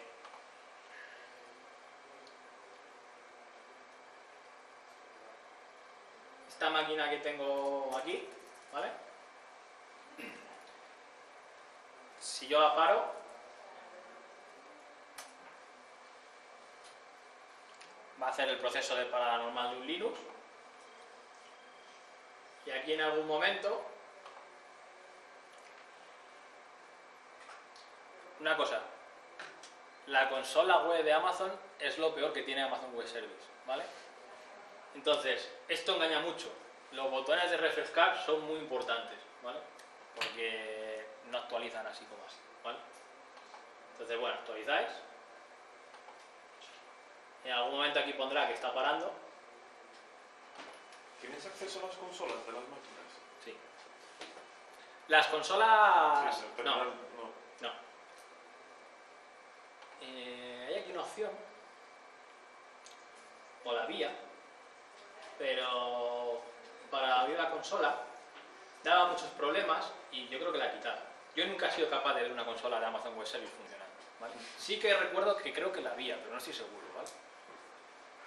Viene bien porque hay veces que tú, por ejemplo, tienes una AMI de hace mucho tiempo, me intentas levantar y no arranca o lo que sea, y ahí vendría muy bien ver cuál es el problema. Que aquí depende mucho de, de que funcione el SSH. ¿Cómo? Que digo, de que depende mucho de que funcione el SSH bien. Mm, eso es.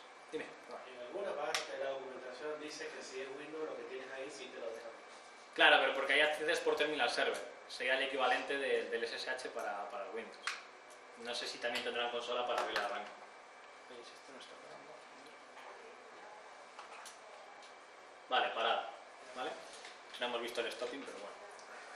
Eh, la máquina ya está parada. Si yo quisiera crear ahora una, una imagen a partir de esta máquina, es tan fácil como venirme aquí y decirle crear imagen. ¿Vale? y me va a crear una AMI nueva que puedo utilizar en mis grupos de autoescalados futuros. ¿vale? Entonces, esto es una manera fácil de crear AMIs. Me cojo una, una AMI base, ¿vale? le hago las cosas que yo necesite y a partir de ahí voy creando AMIs propias. ¿vale? Dime. Y, y si- imaginemos que tenemos ahí un servidor ya con pues, instalado un sistema de monitorización, ciertos agentes en el servidor. ¿no? Para crear esa AMI, todo eso va a necesitar una configuración. ¿no? A la hora de levantar en otra instancia, ¿cómo se maneja? ¿Cómo- Ahí es donde depende de lo que tengas que hacer, la AMI te puede valer la misma, ¿vale? Exactamente, pero si cada máquina necesita una configuración específica, ahí es donde entrarían en juego eh, herramientas de configuración de, de infraestructura, ¿vale? Te digo Puppet, Chef, Ansible. Esas herramientas precisamente conectan, bueno, pueden ser autónomas, ¿vale? Depende de cómo funciones esa, tú utilices esas herramientas, o pueden funcionar contra un servidor maestro, ¿vale? Entonces, si utilizas, por ejemplo, en Puppet, ¿vale? Tienes el cliente y tienes el Puppet Master, ¿vale? El Puppet Master básicamente, cuando la máquina arranca, se va a, se va a conectar al Puppet Master y eh, este le va a decir qué es lo que tiene que configurar y cómo, ¿vale? Eso es complejo, pero eh, se hace de esa manera, ¿vale? Para eso hay una cosa que tiene Amazon, que también es bastante útil, que son las, etiquetas, ¿vale? Vosotros podéis a una máquina, a una instancia de G2, le podéis meter etiquetas. Entonces, cuando se hacen comandos, se puede filtrar por etiquetas y aplicar cosas a cierto grupo que cumplen una etiqueta, ¿vale? Incluso estas etiquetas se pueden utilizar, eh, por ejemplo, con Puppet, ¿vale? Hay una manera de exportar esas etiquetas a, a Puppet y entonces podrías, de alguna manera, en Puppet o en Chef o cualquier otro de este tipo, eh, configurar en base a estas etiquetas. ¿vale? Vamos, creo que vamos un poco justos, ¿no? Sí, aquí vamos bien, pero ahora vamos un poco justos. Vale, bueno, pues vamos a la, a la máquina esta que tenemos aquí.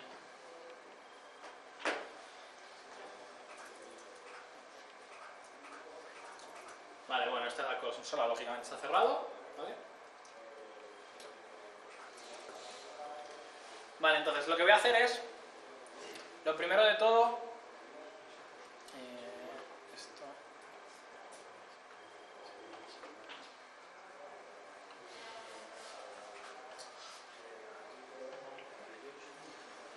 lo primero de todo que voy a hacer es crear, bueno, ya habéis visto antes cómo hemos arrancado las máquinas, ¿vale?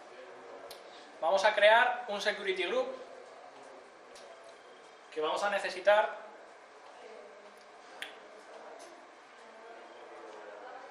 para nuestras instancias, ¿vale? Entonces, si me voy security groups,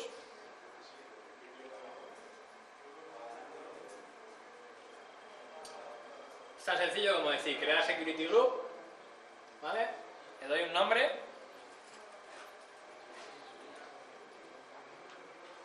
Bueno, la descripción es obligatoria aquí.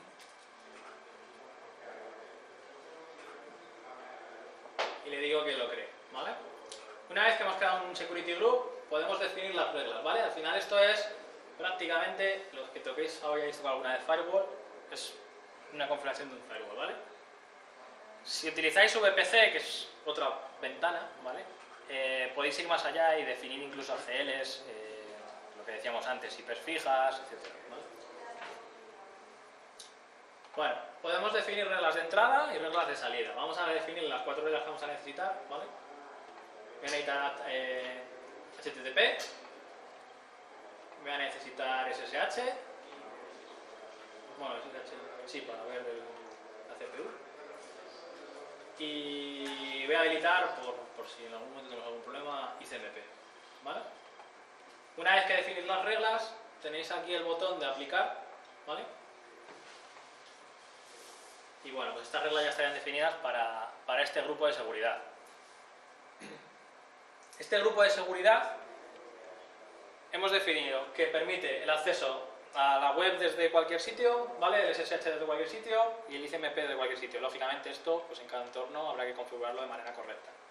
Como os decía antes, si veis aquí, igual que defino IPs o redes, puedo definir un grupo de seguridad, ¿vale?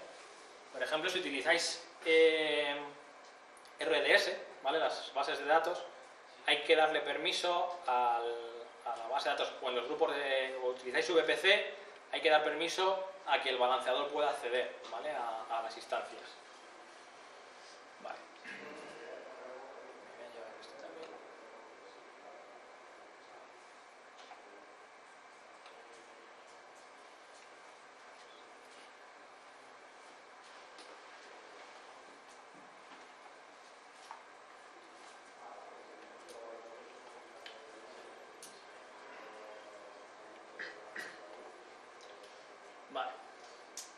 ¿Alguna duda del, del Security Group?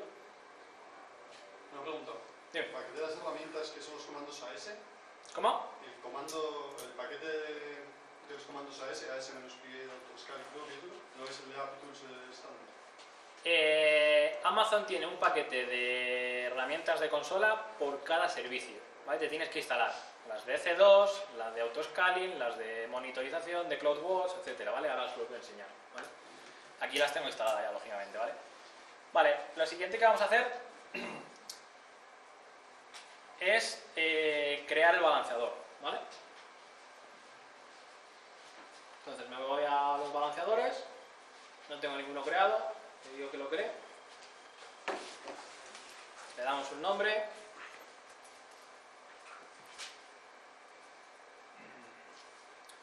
No me da cuenta que no estoy siguiendo.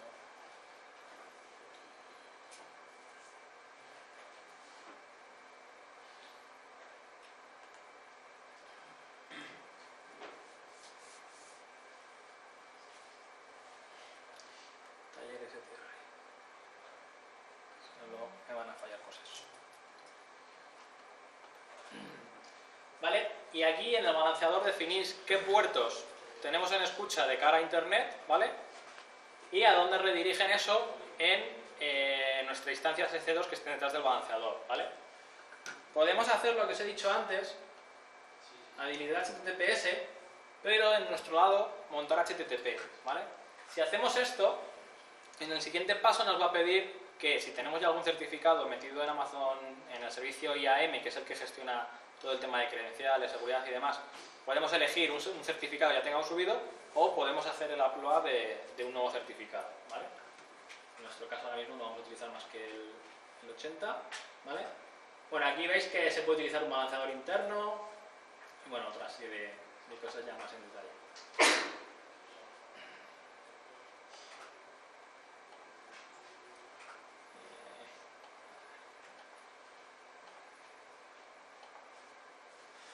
¿Vale?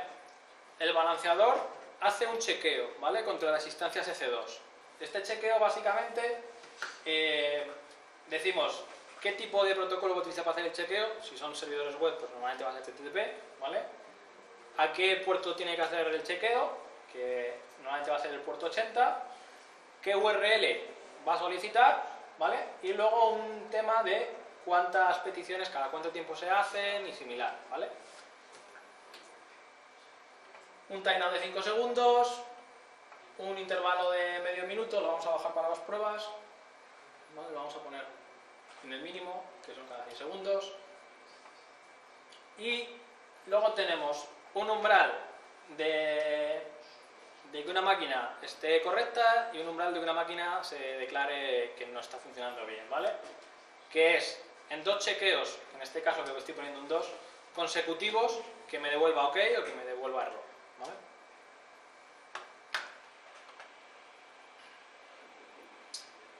¿Vale? Lo siguiente que me pregunta es el security group que voy a utilizar, ¿vale?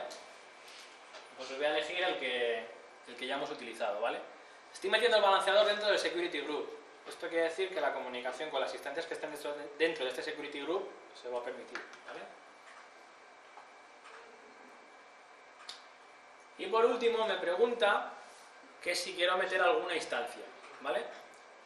Si hubiera dejado esta levantada, lo hubiéramos apagado, podría haberla metido y hubiéramos accedido a través de Security Group, pero bueno, lo hacemos ya con la de autoescalado, ¿vale?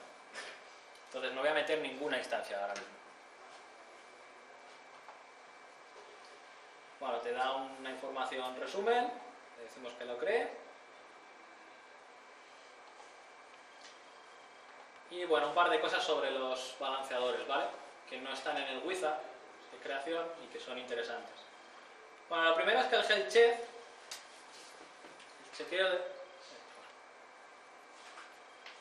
Si en vez de index.html, que es el de por defecto, eh, ponéis otra cosa, muchas veces el wizard no lo respeta y os vuelve a poner index.html.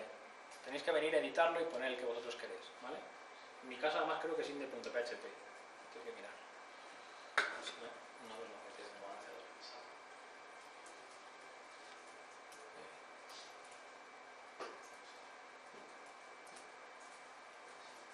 Sí. Vale.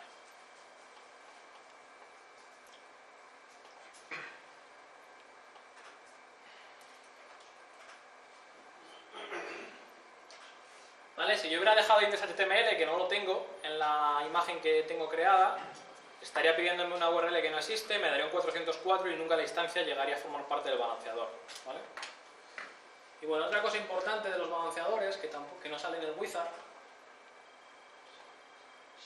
es el tema del, del sticky session, ¿vale? De la persistencia de los clientes. Se define aquí y os permite decir que un usuario una vez que ha ido a una instancia, mientras que esté viva la instancia, le mantenga en esa instancia, ¿vale? Eso facilita el tema de gestión de sesiones y, demás, ¿vale? Podéis habilitarlo y se puede utilizar, bueno, desactivados por defecto, cookies propias que manda el balanceador, ¿vale? O una cookie de vuestra, ¿vale? De vuestra aplicación. Con esto podríais hacer que un usuario entra por una instancia y se mantenga en esa instancia mientras que esté vivo, ¿vale? Bueno, si recordáis de las transparencias anteriores hemos dicho que para montar el autoscaling necesitábamos la AMI, ¿vale? Ya la tenemos. Eh, el balanceador, en este caso que es web, y el, grupo de seguridad. ¿vale? Entonces ya tenemos todo creado, vamos a empezar a, lanzar el, el grupo autoescalado. ¿vale? Ver si no nos equivocamos en ningún comando y funciona. Vale.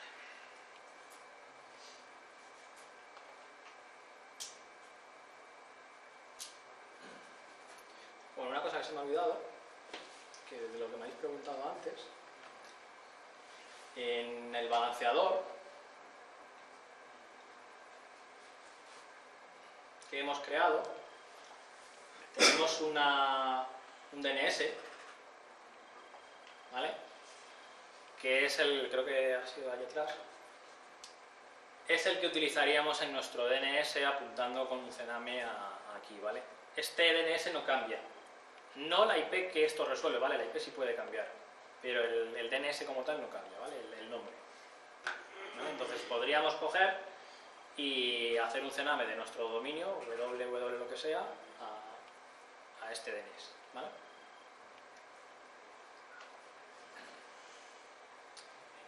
Vale, pues lo primero que vamos a hacer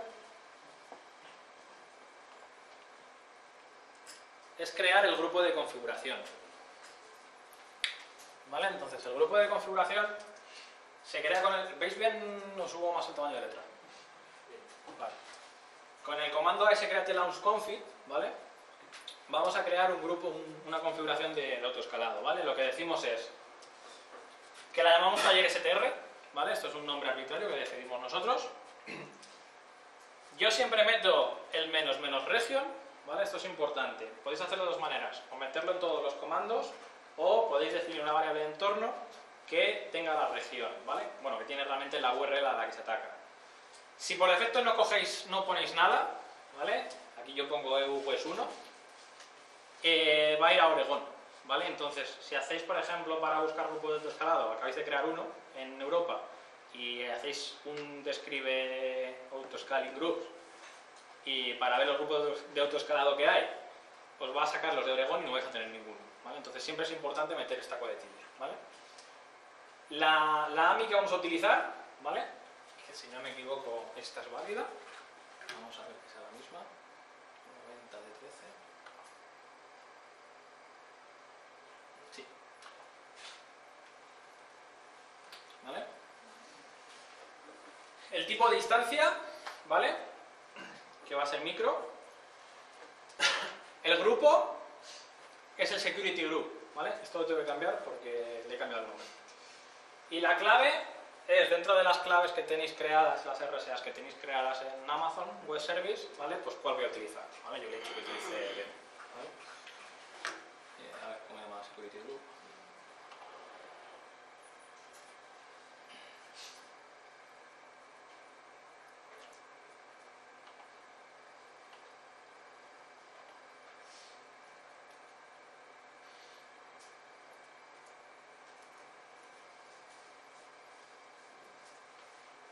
¿Vale?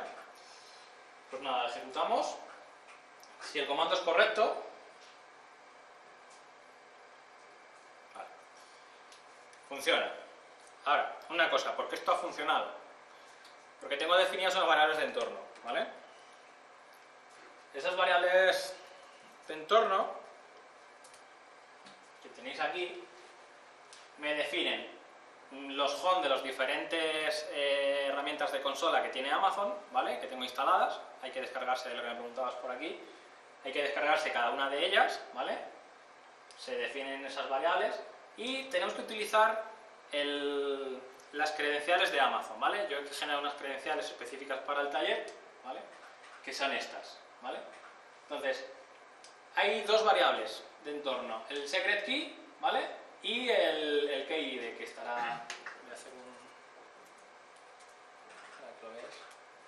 Aquí. El access key, ¿vale? Y el secret key, que es esta. ¿Vale? Esto me identifica contra Amazon, ¿vale? En mi cuenta, esto es básico. Con, teniendo las credenciales de cualquier cuenta, yo puedo lanzar comandos sobre esa cuenta, ¿vale? Es muy importante que estas credenciales, lógicamente, se guarden en condiciones porque puedes hacer cualquier cosa con ellas, ¿vale? Eh, los diferentes eh, home de las diferentes utilidades que vamos a utilizar de Amazon y tengo otra que es el credential file, ¿vale? Que me indica, por si no quiero definir esto aquí, o también depende de la utilidad, unas utilizan las variables de entorno, otras utilizan un fichero, puedo tener un fichero con las credenciales, estas mismas que acabamos de decir, ¿vale? Y para que lo coja de ahí. Vale. Entonces, en user local yo tengo las herramientas de autoscaling, ¿vale? Las herramientas de CloudWatch, las herramientas de C2, ¿vale? Que son las que vamos a utilizar, ¿no? Las de C2 realmente estamos haciendo en esta consola, ¿vale? ¿Esto es cómo se instala? Básicamente en Amazon, bueno, en Google o donde sea buscáis eh, CloudWatch CLI, Line Tools, y os sale el zip, lo descargáis, y si la máquina tiene Java correctamente instalado, ya podéis hacer uso de ellas, ¿vale?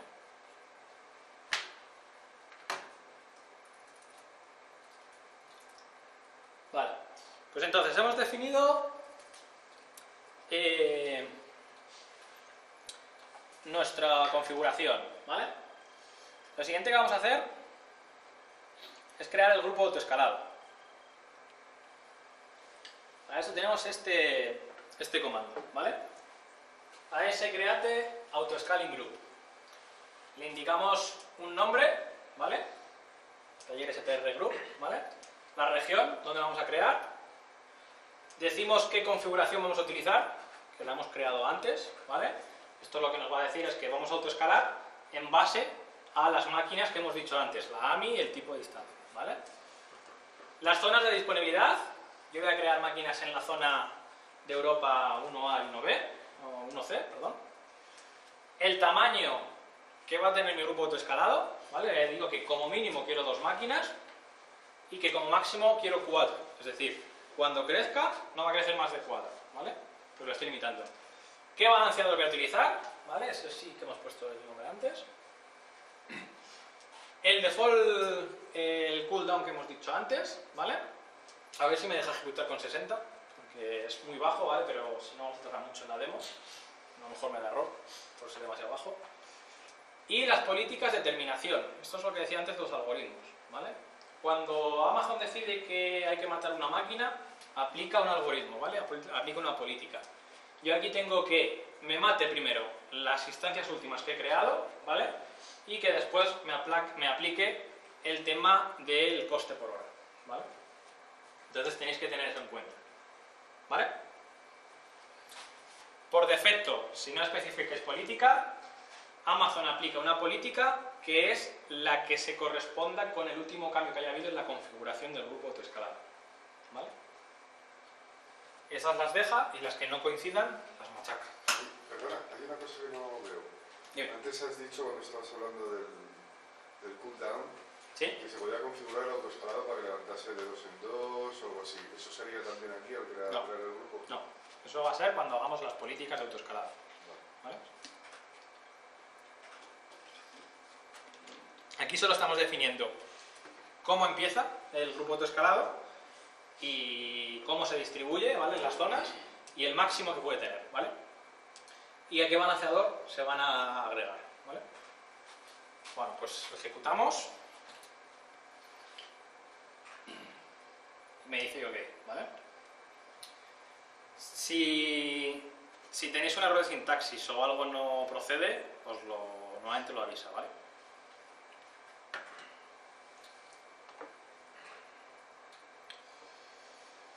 Vale, vamos a utilizar otro comando que es similar o relacionado con el anterior, ¿vale? Que es el de actualización de un grupo autoescalado ya existente, ¿vale? Lo que vamos a decirle es que, que va en línea lo que habéis preguntado antes, utilice los, los health checks del propio balanceador, ¿vale? Para coger valores globales, ¿vale? De todo, de todo el sistema, ¿vale? Y que les dé un periodo de gracia a una máquina cuando levanta de 100 segundos, ¿vale? Esto es porque la máquina puede levantar, por ejemplo, si aplicáramos una herramienta de, de- de gestión de la configuración, ¿vale? Pues entre que actualiza paquetes, no sé qué tal, puede tardar un poco en estar disponible, ¿vale? Entonces, si no diéramos este margen, la máquina levantaría, el balanceador empezaría a hacer chequeos y como no responde correctamente, la, la terminaría, lanzaría otra, entraríamos en bucle. Vale.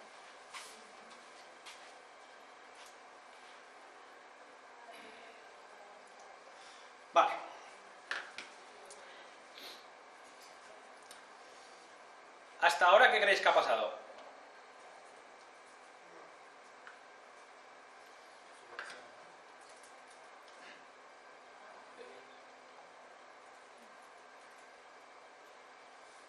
Pues vamos a verlo. Debería haber levantado otra instancia, ¿no? Porque el mínimo es dos.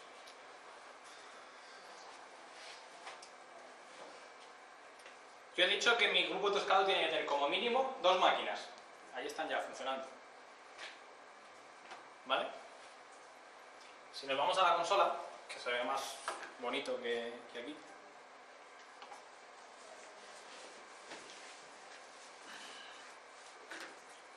Tenemos el controlador, que le teníamos levantado a mano, y dos máquinas que si os fijáis no tienen nombre, ¿vale? Porque las ha creado automáticamente que han pasado, una de ellas ya ha pasado los chequeos, ¿vale? La otra está finalizando, ¿vale? Supongo.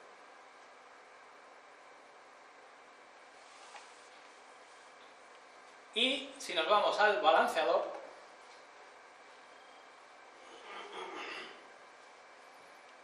y miramos el balanceador que hemos creado, en la pestaña instancias, tenemos ya dos instancias, ¿vale? Una todavía no está logada.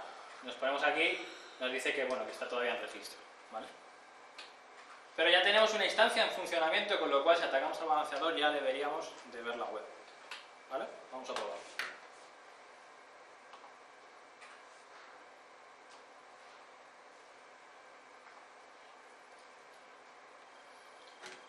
Si el efecto no falla, pues ya lo tenemos funcionando.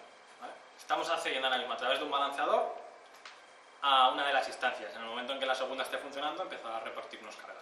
¿vale? Si nos vamos a nuestro maravilloso script para calcular decimales,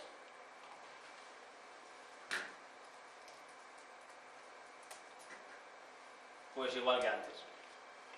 Lo único que ahora estamos yendo a, a una máquina, o no sé si estamos yendo ya a dos. ¿vale?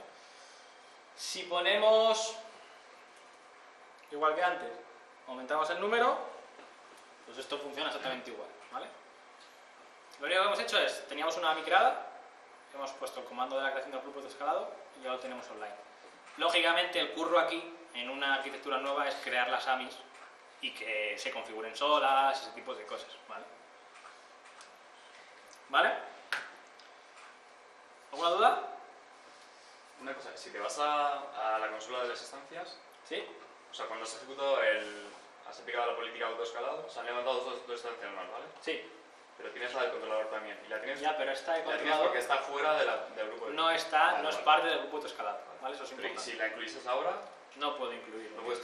Eso lo hace el grupo autoescalado, es el que levanta y sí puedo sacar, de alguna manera, ¿vale?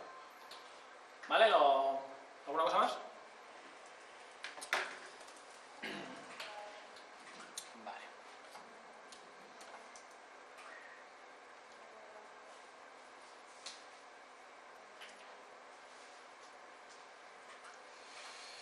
Bueno, igual que hemos visto este comando, ¿vale? Que describe el grupo de autoescalado, os da información de cómo se llama el grupo, el mínimo... Voy a hacerlo un poco más grande, a ver si lo veis mejor.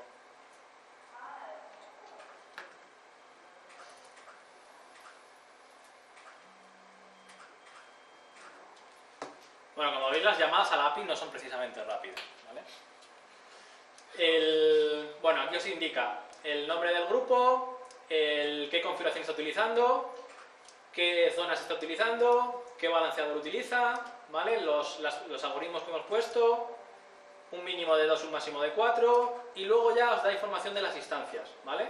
Tenemos dos instancias dentro del grupo autoescalado, eh, las dos están en servicio y las dos están en estado correcto, ¿vale?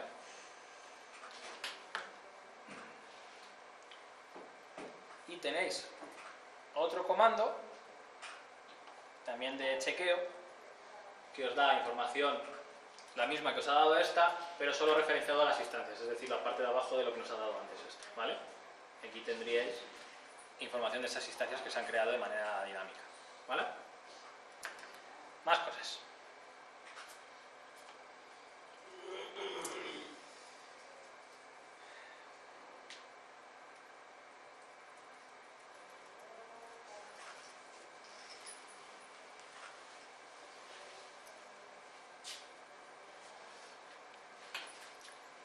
Con este comando, ¿vale? Con autoscaling set instance health, puedo decir que una instancia concreta eh, no está funcionando bien, ¿vale? Y le digo que a partir de ahora su estado va a ser insalubre, ¿vale? Entonces para eso tengo que poner aquí el ID de la instancia y guion 3 D96 CA71 ¿vale? Esto sería una acción que podemos hacer manualmente si detectamos que algo en una instancia concretamente no está yendo bien, ¿vale? Entonces, con este comando yo lo que estoy diciendo es que esta instancia no está funcionando bien, la fuerza a decir que esto que aquí dice que el estatus es bueno, yo digo que no, ¿vale?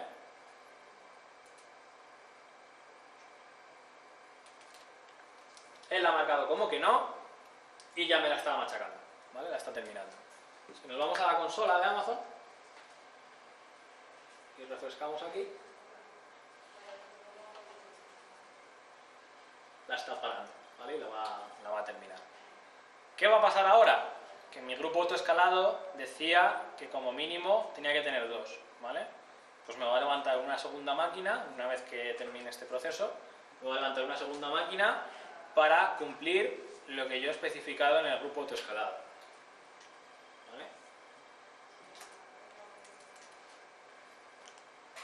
Ya la tenéis aquí, lanzando, ¿vale? Pending. ¿Vale?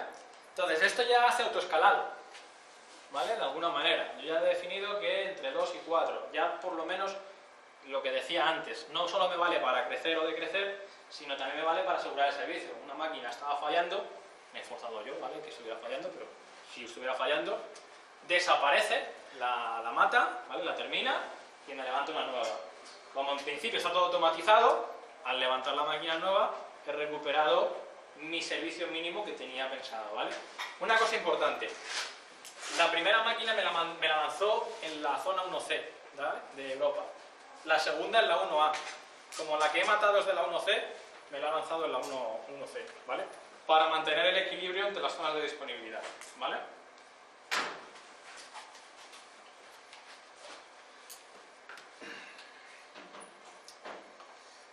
Vale, ahora vamos a hacer un- otro cambio.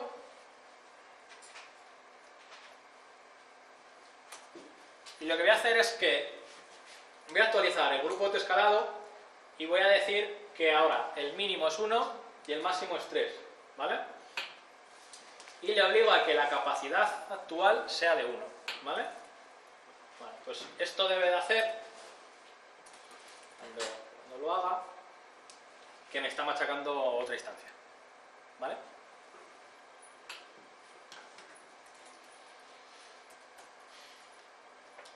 Hemos iniciado, inicialmente hemos definido un grupo de autoescalado, nos hemos pasado, pues lo redefinimos. Cuando nos hemos quedado corto, redefinimos. Por ejemplo, si nuestro grupo de autoescalado hemos puesto que el mínimo son 4 ¿vale? instancias y en un momento dado sabemos que vamos a necesitar 8, pues redefinimos, ponemos 8 y nos va a levantar las 4 restantes. ¿vale? Vale, entonces hasta aquí estaríamos con escalado manual, ¿vale? Hemos dicho que había tres tipos de escalado, el manual, el dinámico y el de por horarios. El de horarios no lo vamos a hacer, pero básicamente son comandos similares, ¿vale? Donde defines las franjas horarias, como quieres que funcionen. Vamos a hacer el, el dinámico, ¿vale? Para eso lo que tenemos que definir son políticas.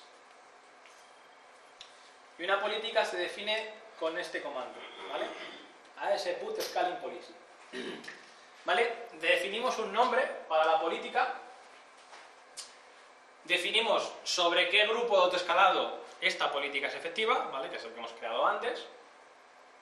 Decimos el ajuste. El ajuste quiere decir cuánto vas a crecer o cuánto vas a decrecer, ¿vale?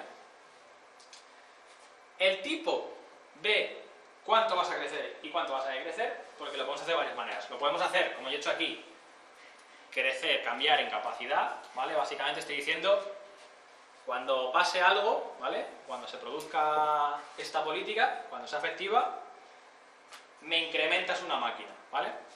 En vez de utilizar esto, puedo utilizar porcentajes, ¿vale? Es otro tipo de, de, de autoescalado.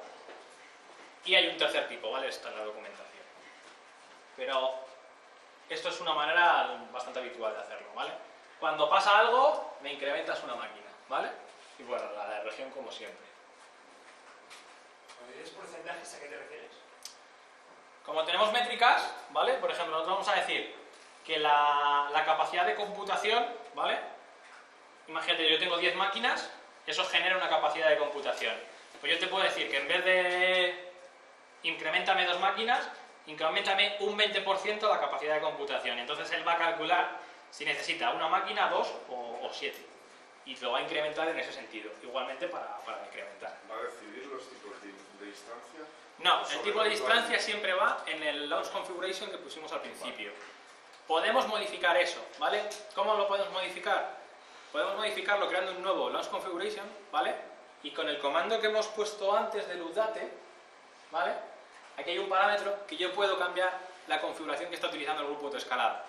Entonces, si yo creo un nuevo launch configuration, indico que el tipo de distancia a partir de ahora es large, ¿vale? Una máquina grande, a partir de entonces, y le digo a través de este comando que utilice ese nuevo launch configuration, a partir de entonces las máquinas que cree van a ser large. Y en ese momento sí podríamos tener en el grupo de escalado máquinas micro y máquinas large, ¿vale? Llegaría un momento en que se igualaría, ¿vale? Bueno, pues lo ejecuto. Y este numerajo que me devuelve, bueno, numerajos y letras que me devuelve, es el identificador de la política que yo acabo de crear, ¿vale? En Amazon todo tiene identificadores de este tipo, ¿vale? Entonces, esto acaba de crear una política, ¿vale? Y este es su identificador, lo vamos a utilizar luego para el tema de métricas, ¿vale? Entonces, lo voy a copiar.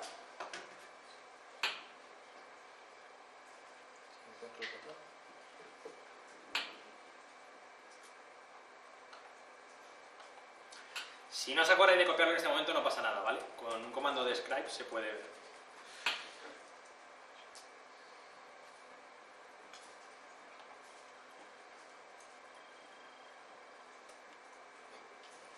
Vale. Y hemos definido una política para el crecimiento. Tenemos que definir una política para el decrecimiento, ¿vale? Igual. ¿Vale? El comando es el mismo. Lo único que antes le he dicho scale out, ¿vale? Hacia afuera y ahora scale ¿vale? Eh, la diferencia es que el ajuste ahora, no sé si se aprecia, es un menos uno, ¿vale? En vez de incrementarme una máquina, me, quitas una máquina, ¿vale? Igualmente me va a devolver un número de estos feos, ¿vale? Un identificador de estos feos. Lo voy a copiar.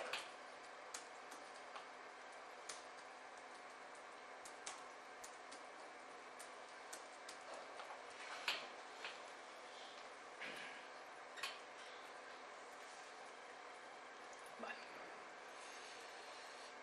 Y igual que antes hemos podido monitorizar cosas, pues sobre las políticas tenemos el, el Policies, ¿vale?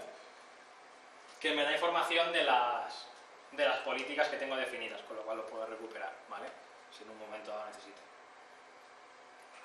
¿Vale? ¿Alguna duda? Aquí bien, ¿no? Vale, con esto que acabamos de hacer, hemos definido las políticas de cómo crece y cómo decrece mi, sistema de autoescalado, pero no hemos hecho nada que invoque esa, esa ejecución, ¿vale? Entonces eso se hace a partir de políticas, ¿vale? Y aquí entra en juego un servicio más de Amazon que es CloudWatch, ¿vale?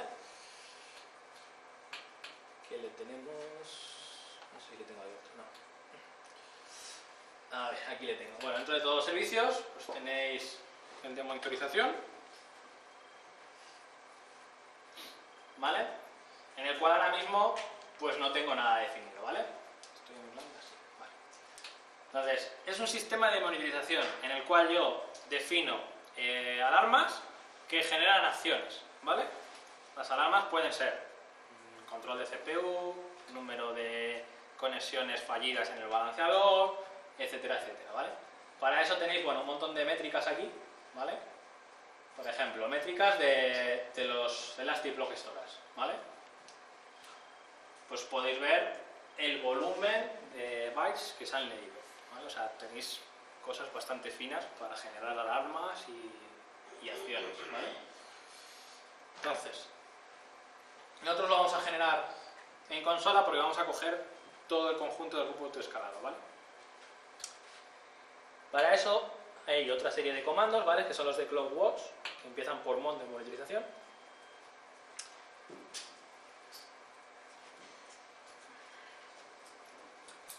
Que básicamente lo que dice es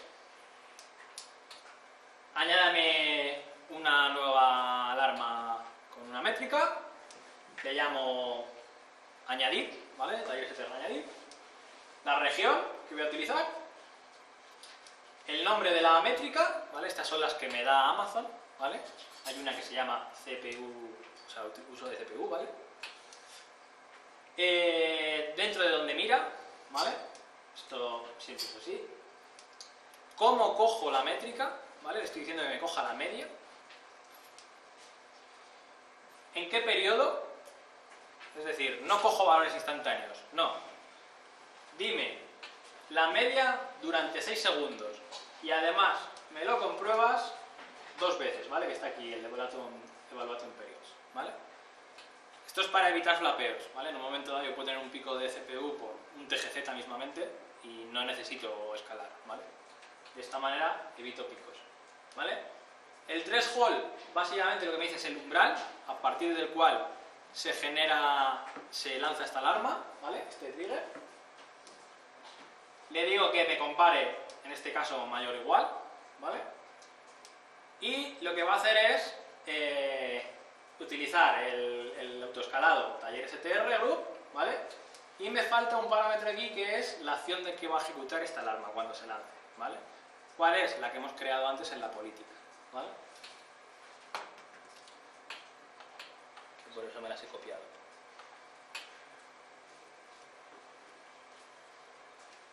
¿Vale?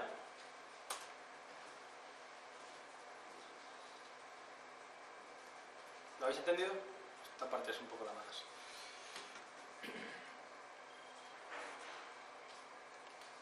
Vale, entonces, yo ya tengo aquí una alarma que está en estado OK inicialmente, ¿vale? Que me está diciendo que el uso de CPU está siendo mayor o igual que el 40% en los últimos dos minutos, ¿vale? Hemos dicho que periodos de 60 dos veces por dos minutos, ¿vale? Que está OK, quiere decir que no está sobrepasándose esa alarma, ¿vale? Vamos a hacer lo mismo con la, la, de, la, la inversa, ¿vale?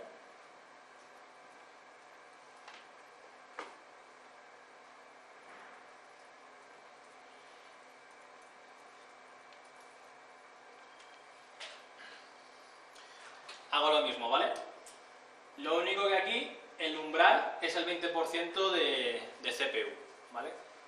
Cuando pases por encima de 40, esto en un caso real no, no se pondría un 40, ¿vale? Nunca. Se pondría normalmente un poco más alto, salvo que queréis tener mucho margen de, de crecer, ¿vale? Antes de, de que pase nada. Y que cuando llega al 20, pues reduzca, ¿vale? Y me falta el identificador de la política.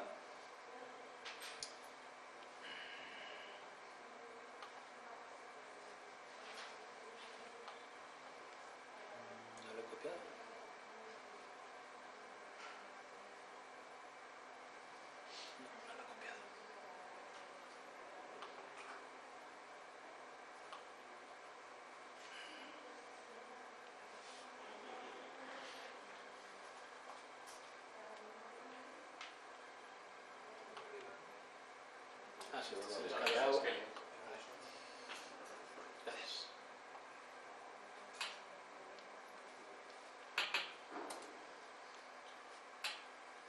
¿Vale? Y si nos vamos aquí, tenemos ya una segunda alarma que está alarmada, ¿vale? Que nos dice que el uso de CPU es menor o igual al 20%. Esto está bien que hablemos de alarmado, ¿vale? Quiere decir que estamos dentro del umbral que queremos. Lo que va a hacer esto es, cada cierto tiempo, pedir al grupo de escalado que disminuya, pero no se va a hacer efectivo porque estamos en el mínimo que hemos definido, ¿vale? Hemos dicho que nuestro grupo de escalado tiene como mínimo ahora mismo una máquina, ¿vale? Entonces, si nos vamos a las instancias,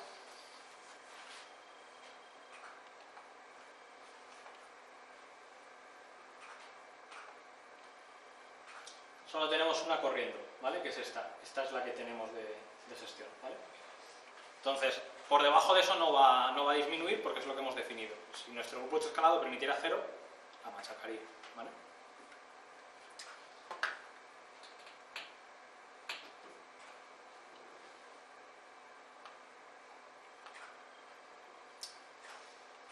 Y bueno, tenéis un comando igual que en, que en el resto, ¿vale? Para ver las alarmas que tenemos definidas. ¿Vale? Al final esto básicamente es ver lo mismo que estamos viendo en la consola web. ¿Vale? ¿Cómo hacemos ahora para comprobar que esto funciona? Pues vamos a empezar a pedir números de decimales de pi, ¿vale?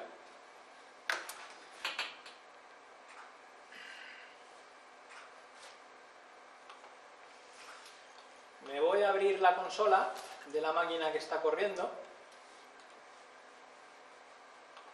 de la instancia C2 que tenemos corriendo.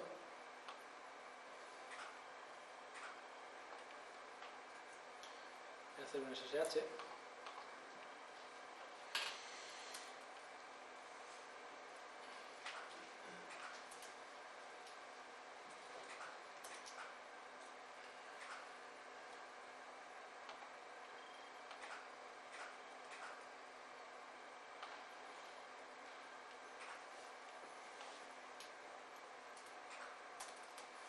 ¿Vale? Esta máquina ahora mismo no tiene nada más que ha levantado la imagen y no hemos hecho nada sobre ella. Sin embargo, si nos vamos al, a la web, sí que está respondiendo, ¿vale? O debería. Sí, va cambiando el tiempo, ¿vale? De ejecución. Si vemos aquí el log de Apache, tenemos dos cosas. Peticiones de chequeo del balanceador, ¿vale? Para comprobar que la máquina está bien. Y eh, si hacemos alguna petición desde aquí,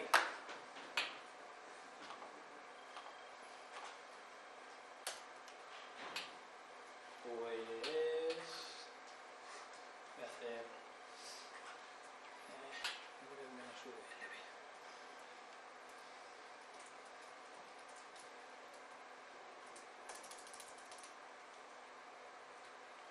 Vale, aquí lo tenéis. No, Fabicon pi.php. ¿Vale? Alguien está haciendo. ¿Vale? Bueno, pues nada, si lanzo otra, lo vemos, ¿vale? vamos a lanzar desde la otra máquina peticiones, ¿vale?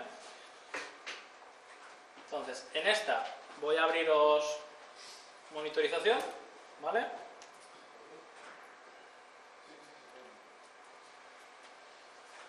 Disco, ¿no? Vamos a abrir procesos. Voy a quitar la memoria.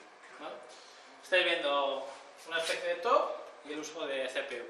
¿Vale? Es una máquina pequeñita, solo tiene un core, solo sale uno. Si tuviéramos más, pues saldrían más. Y esta la vamos a duplicar, esta consola, ¿vale?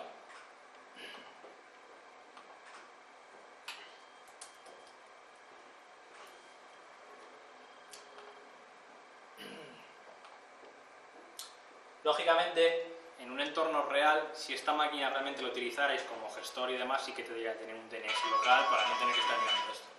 ¿Vale? Vale.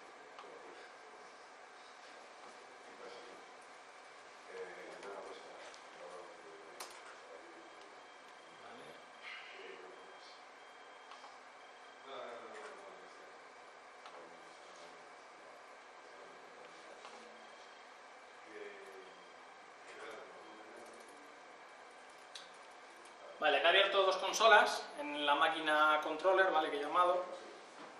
Para, en una consola voy a lanzar carga, ¿vale? Con Siege.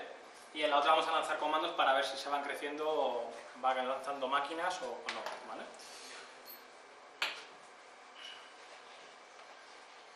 Vale.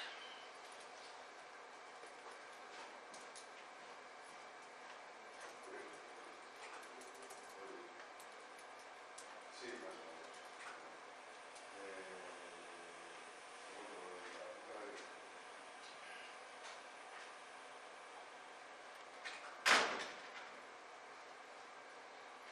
sí, sí, no sé si...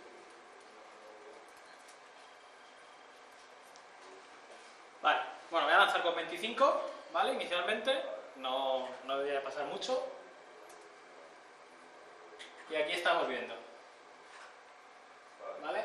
El uso de CPU en principio no está subiendo mucho, pues no pasa nada, ¿vale? Si comprobamos...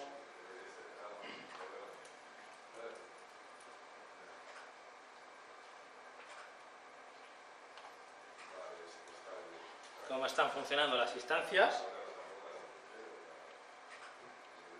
Bueno, aquí está dando socket. Esto no,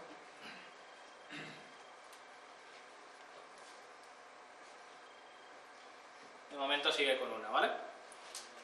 Vamos a darle caña. La CPU está todavía tranquila. Paramos este, que además está fallando el socket, no sé por qué.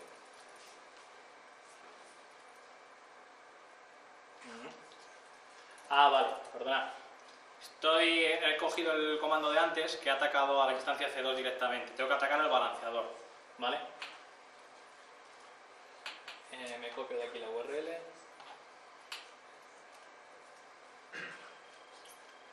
Siege menos C10 menos T0.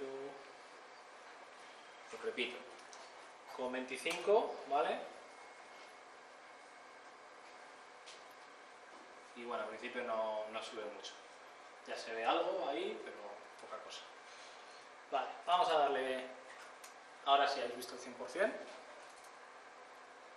Vamos a poner 250, ¿vale? Con esto ya va a generar CPU.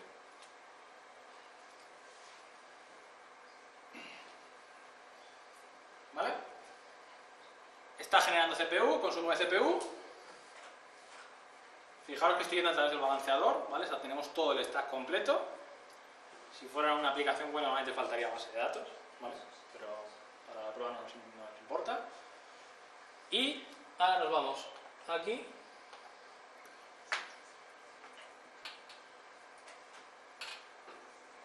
Y de momento debe seguir con una instancia, ¿vale? Si nos vamos a la consola de Amazon, para que se más gráficamente, de, de CloudWatch, de momento están igual que las teníamos al principio. En un momento esto debe de cambiar, ¿vale? Y debemos de tener una alarma que va a generar el autoescalado. Si no nos falla la demo, no hemos hecho nada mal. con los nombres de... Vamos a esperar. Mientras que esto tal, ¿tenéis alguna duda? Yo tengo una pregunta. ¿Tiene algún tipo de limitación Amazon en cuanto a tiempos mínimos máximos de uso de este tipo de instancias? Antes has hablado de tienes unos días en los que tienes más tráfico. En un escenario donde las cosas sean mucho más puntuales, ¿esto se puede manejar? Por ejemplo, voy a tener dos horas de tráfico. En ese caso yo aplicaría escalado manual. ¿Eh? En ese caso yo aplicaría escalado manual. O sea, puedes dejarlo igualmente todo preparado, pero tú decides. Sí, pero lo, lo hablo, lo- te lo pregunto también por, por, por el tema económico. Es decir, eh, imagínate que yo voy a necesitar multiplicar por 10 el tráfico. ¿Se ha dado algún caso? Pues ahí lo que tienes que valorar Solo durante dos horas, por ejemplo. Ahí lo que tienes que valorar es si eso lo podrías hacer de otra manera, que no sea en una plataforma como Amazon, Azure o cualquier otra. Claro, pero me lo va a permitir Amazon. Es decir, Sí, sí, Amazon te lo va a es permitir. Tú puedes entrar hoy, crearte multiplicar por 10 máquinas, dos horas, matar, dentro de los límites que tienes Sí, establecidos. Sí, sí, sí. sí, claro. Sí. Pero a, a las dos horas el- se reduciría ¿Vale? o... Ya ha cambiado una de ellas, perdona que te interrumpa, Vale, sí, no. ¿vale? Eh, esta ya está fallando, ahora cambiará la otra y cuando cambie lanzará las políticas de autoescalado. Todavía no creo que lo haya hecho. Vale. No debería tardar mucho. Aquí veis que no van en fase, ¿vale? Las dos alarmas las hemos creado en diferentes tiempos, con lo cual sus chequeos van, van en distintos momentos. Vale, lo que me decías. Eh, sí, tú en Amazon puedes entrar un día como cliente, levantar 500 máquinas, hacer lo que tienes que hacer con ellas, las apagas y te vas. Y el, y el, y el autoscaling también me lo haría sin Sí, sí, sí. Se deja esto configurado, de repente pasa lo que pueda pasar. Hmm. Se, se genera la necesidad, lo crea y lo destruye igual a Eso la es. hora, a la media hora, a las dos horas. ¿no? Eso es. Ya se ha avanzado la alarma de que el CPU, la CPU está por encima de 40, ¿vale? Y si ha funcionado, está lanzando una máquina virtual. ¿Vale? Está en estado pending, la está levantando, la va a meter al balanceador, etcétera, etcétera. Si la dejamos lanzado, como hemos puesto que hasta 3, una vez que pasen los tiempos que hemos definido como cooldown, ¿vale? De, protección, volverá a pasar lo mismo y me lanzará una tercera máquina. De la misma manera, si cortamos ese tráfico o lo reducimos, ¿vale? El tráfico o la capacidad de computación, ¿vale? Porque mucho tráfico no estamos metiendo, eh, va a empezar a, a reducir, ¿vale? El And Healthy es totalmente independiente de las alarmas, es otras métricas suyas. El healthy, un healthy, básicamente lo que te está mirando son tres cosas. Bueno, aquí tenéis gráficas muy monas, ¿vale?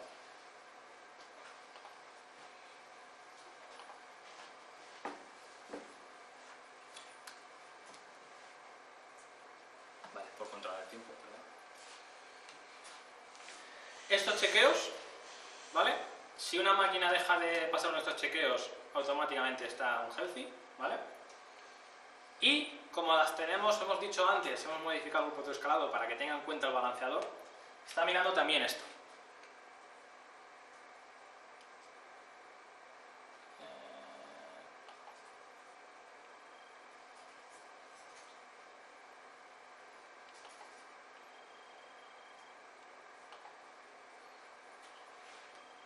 ¿Vale?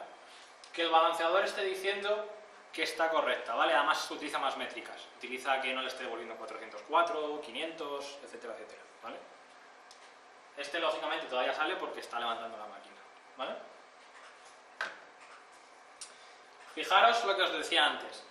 Yo he forzado para que no tardemos mucho en la prueba que el cooldown sea 60 segundos. Como estáis viendo, puede ser un poco arriesgado, ¿vale? Bajar, bajarlo tanto. Porque una máquina puede tardar más tiempo en levantarse, sobre todo si utilizáis herramientas de configuración automática, ¿vale? Que tenga que instalar paquetes, que tal. La cultura de automatización, sobre todo el mundillo DevOps y similar, dice que no está bien utilizar herramientas, lo que nosotros llamamos Golden Image, ¿vale? Que es lo que yo he utilizado aquí, ¿vale? Una AMI que yo me he ido creando, he configurado y solo le dejo cuatro cosas muy básicas o alguna actualización que haya podido hacer para que en el momento en que se levante se actualice, ¿vale? Eh, los puristas dirán que eso es incorrecto, porque lo correcto es que todo se configure de manera automática al levantar la máquina. Vale, me parece muy bien, pero entonces una máquina, desde que yo la lanzo hasta que está funcionando, si tengo que instalar 500 megas de paquetes de Debian, por ejemplo, tarda 10 o 15 minutos, ¿vale? No, no es muy viable. Salvo que estemos hablando de clústeres de máquinas, de que 500 máquinas, 1000 máquinas, que en Amazon las hay, ¿vale? Por ejemplo, un caso muy parecido a lo que hemos hecho sin entorno web, ¿vale? Eh, de clúster de máquinas que contó Amazon en, una de las charlas es el para, para hacer las, los test de carga de un videojuego, ¿vale? Bastante famoso, no sé si era Halo o alguno de estos. Levantaban en cuestión de minuto para simular los millones de jugadores que luego tienen en la realidad, a lo mejor levantaban 2.000 o 3.000 máquinas y empezaban a lanzar chicha, ¿vale? Eso hace 5 años, yo he hecho temas de benchmark, era impensable y de hecho el problema normalmente en los benchmark no era tanto cómo hacías el benchmark en la parte del servidor y demás, sino cómo levantabas los clientes para generar esa carga. Pues aquí tenéis una manera bastante sencilla.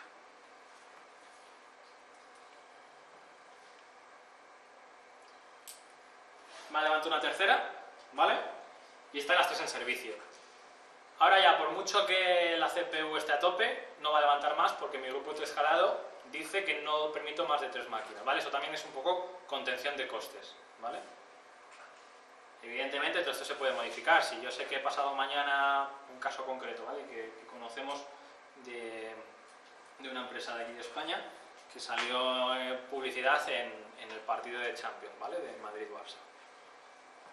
Preveyeron con tiempo y lógicamente para ese día quitaron todos los límites y que eso creciera lo que, lo que hiciera falta. Y lógicamente ya el, el, el, tamaño base era muy grande, ¿vale? Para que no tuvieran que estar creciendo sobre la marcha. ¿vale? Pues en, en, ese caso modificas o incluso creas grupos de, de autoescalado nuevo y no hay ningún problema. En un mismo balanceador yo puedo meter máquinas o instancias F2 que no sean del grupo autoescalado e instancias que sean del grupo autoescalado o incluso puedo tener varios grupos de autoescalado con unas con micro, otras con large. El problema que tengo ahí es que las métricas eh, no está muy claro cómo las va a coger, ¿vale? Habría que currarse seguramente las métricas bastante para, para que coja el conjunto, ¿vale? A nivel de balanceador sí que va a coger todo, pero a nivel de la parte de las máquinas, de uso de CPU, solo va a coger cada grupo de escalado la suya propia, ¿vale? Vale, bueno, vamos a... Y mientras tanto, una cosa que tienes que tener en cuenta es que esto que estamos haciendo ahora cuesta dinero, ¿vale? y que es muy bonito levantar, pero nos está costando paso. ¿vale? Eh, ¿cómo, ¿cómo, puede ser un histórico lo que ha pasado? ¿Vale? Has tenido tu grupo anoche corriendo, por la mañana y quieres saber si se ha levantado 70 instancias o dos. Vale, bueno, ahí hay varias cosas. Lo primero es, en la monetización podrías aplicar, por ejemplo, emails o algún tipo de llamada web services similares, ¿vale? Para automatizar esas cosas. Y lo segundo, hay un comando para ver actividades de, de, No sé si le tengo aquí. Es activities. No, no le tengo. Hay un comando que es as-describe activities, si no recuerdo mal de memoria. Lo tienes aquí en el PDF que os he enseñado antes.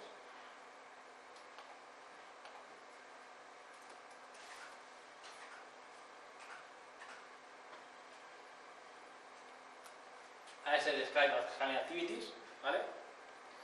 Y te describe las actividades que ha habido en el grupo autoescalado, ¿vale? Un límite importante de estos que tiene Amazon es el de el número de operaciones de autoescalado al mes por grupo de autoescalado, ¿vale? Esto sí es importante, ¿vale? En, en algunos casos. Solo se permiten 125 operaciones al mes de autoescalado. Eso viene a ser unas cuatro operaciones al día. ¿Vale? Es fácil de saltárselo, porque el límite es por grupo autoescalado.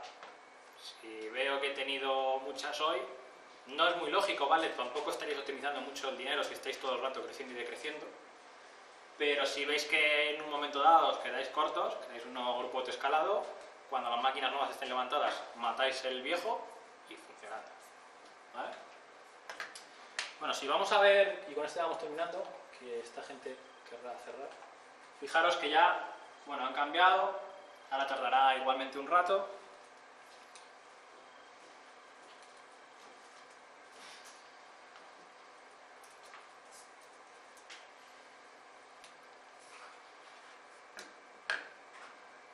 Todavía están funcionando, ¿vale? Cooldown, otros dos minutos de chequeo, etcétera, ¿vale? Va a tardar un poquillo. Empezará a matar máquinas, ¿vale? Y me dejará una, que será la que yo tengo puesto como valor mínimo en mi grupo autoescalado. Y...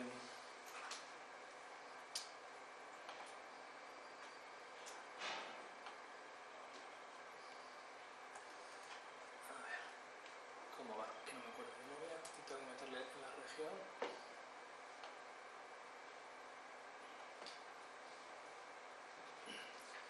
Quiero recordar que le tengo que poner el nombre del grupo de autoescalado. Era así.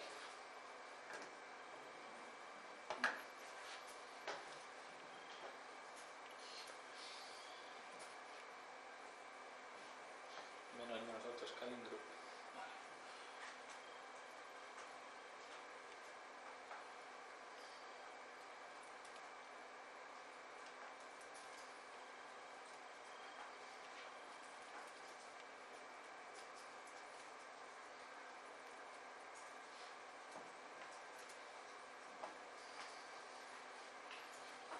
Lo que preguntabas. Aquí ya estamos viendo un informe de, autoescalado. Esto yo lo puedo llegar a automatizar en programación, en scripts, y tener incluso un dashboard propio mío de todo lo que está pasando, de todo lo que ha pasado, sacarme informes, etcétera, etcétera. Si recordáis una de las primeras transparencias ¿vale? que he puesto en la presentación, esto es lo que yo veo la potencia de un Amazon, de un Azure, frente a otros cloud, o, lo que llaman cloud, que no se puede hacer, ¿vale? Yo no puedo automatizar tantas cosas. Aquí puedo hacer lo que quiera realmente. Si quiero levantar una máquina S2 manualmente sin entrar a la consola, pues utilizo en vez de, hoy hemos utilizado los comandos AS- y mon ¿vale? Utilizo los S2 que es otra línea de comandos para S2, ¿vale? Y levanto máquinas, levanto lo que quiera, ¿vale?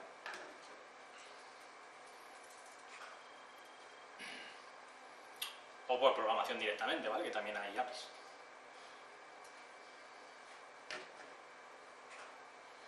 Ya tenemos una que está terminando, ¿vale? Si nos vamos a las alarmas,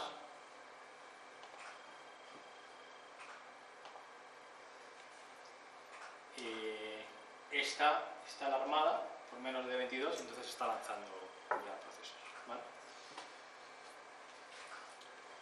Y por último, una cosa que vamos a hacer muy rápido es cargarnos todo lo que hemos hecho. ¿Vale? Básicamente, indico que mi taller autoescalado va a tener mínimo 0, máximo 0, capacidad actual 0. Con eso me va a poner todas las máquinas a, a matarlas, ¿vale? A terminar.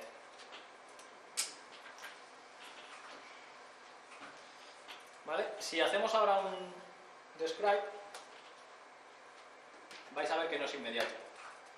Bueno, ha dejado mal, está ya matando, ¿vale? No siempre es inmediato, ¿vale?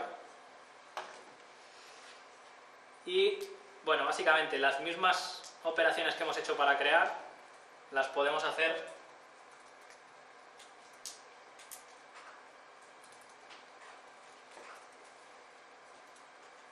borramos las alarmas, ¿vale? Que hemos creado en CloudWatch.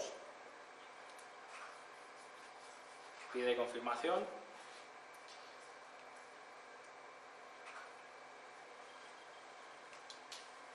Borramos la segunda alarma que hemos creado.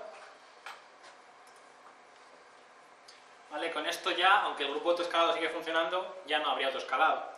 ¿Vale? Y si nos vamos aquí y refrescamos, ya no hay alarmas. ¿vale?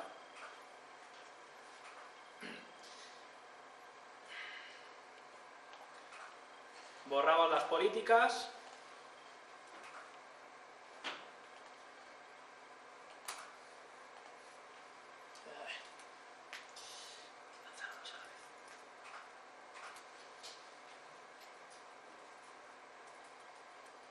¿Vale? Borro la primera política.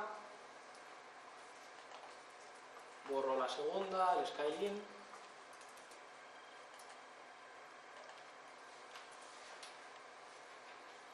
Ya tampoco tengo políticas. Y me quedaría borrar el grupo autoescalado, que mientras que esté en operaciones no me deja. Voy a ver cómo anda. Ya no hay, con lo cual ya puedo borrarlo.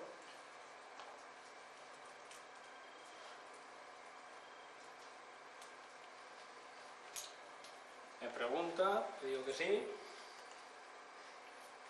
Eliminado y borro la configuración. Me pregunta, digo que sí. Y ahora si hago un describe, por ejemplo, de launch config, ¿vale? Para que me muestren las configuraciones que tengo, pues salvo que tenga alguna por ahí creada otra vez, ¿vale? No creo. No tengo ya ninguna, ¿vale? Lo mismo si hiciera el, el describe instances o el describe a ver. A ese bueno os he engañado vale porque no he puesto menos menos regio con lo cual me está mirando en Oregón y en Oregón nunca he creado nada con lo cual lógicamente me ha dicho que no, vale pero bueno.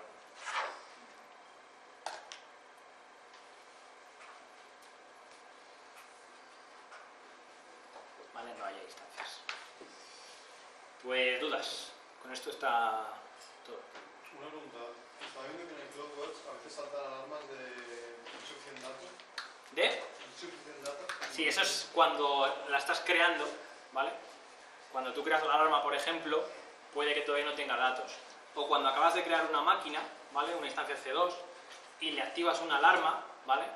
Hasta que la máquina no está funcionando y lleva unos, un tiempo ya funcionando, no tiene datos suficiente para valorar si la alarma es ok o, o está alarmada. Puede ser que si la máquina está muy cargada no le envíe la información usuario. En ese caso, posiblemente te va a dar, o dependerá del caso, te puede dar insuficient data o te dará más bien alarmada. En la mayoría de los casos, pero depende. Y en la interfaz web han puesto autoscaling. ¿Dónde?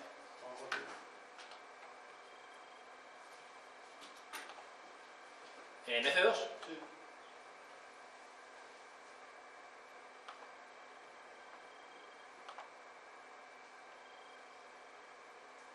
Vale, pues no lo sabía. Siempre lo he hecho en consola y yo creo que no lleva mucho tiempo, aunque no recuerdo, porque estoy suscrito a las, Yo lo he visto ahora. a las listas y demás y no recuerdo que la hayan publicado. Lo mismo yo ya como lo hacía en consola, dado por hecho que no existe y pues bueno, más fácil, ¿vale? Más fácil, pero esto no te permite automatizar. ¿vale? Dime.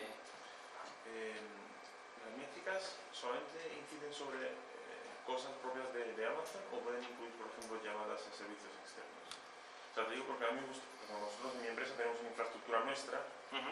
y pues igual podríamos escalar. eh, cuando nuestros servidores se cargan demasiados, podríamos crear instancia- instancias en Amazon. Sí, sobre eso de hecho hay soluciones que son las que yo os digo, o sea, lo que he dicho antes, híbridas, ¿vale? Eh, hay empresas que están utilizando Amazon, Azure similares, para, tengo mi data center, pero lo conecto a Amazon y en un momento dado puedo utilizarlo de respaldo si mi data center se cae o podría llegar a hacer algo como lo que tú estás diciendo. Se pueden hacer cosas de esas. Si con CloudWatch puedes analizar máquinas externas, mm, te diría que no.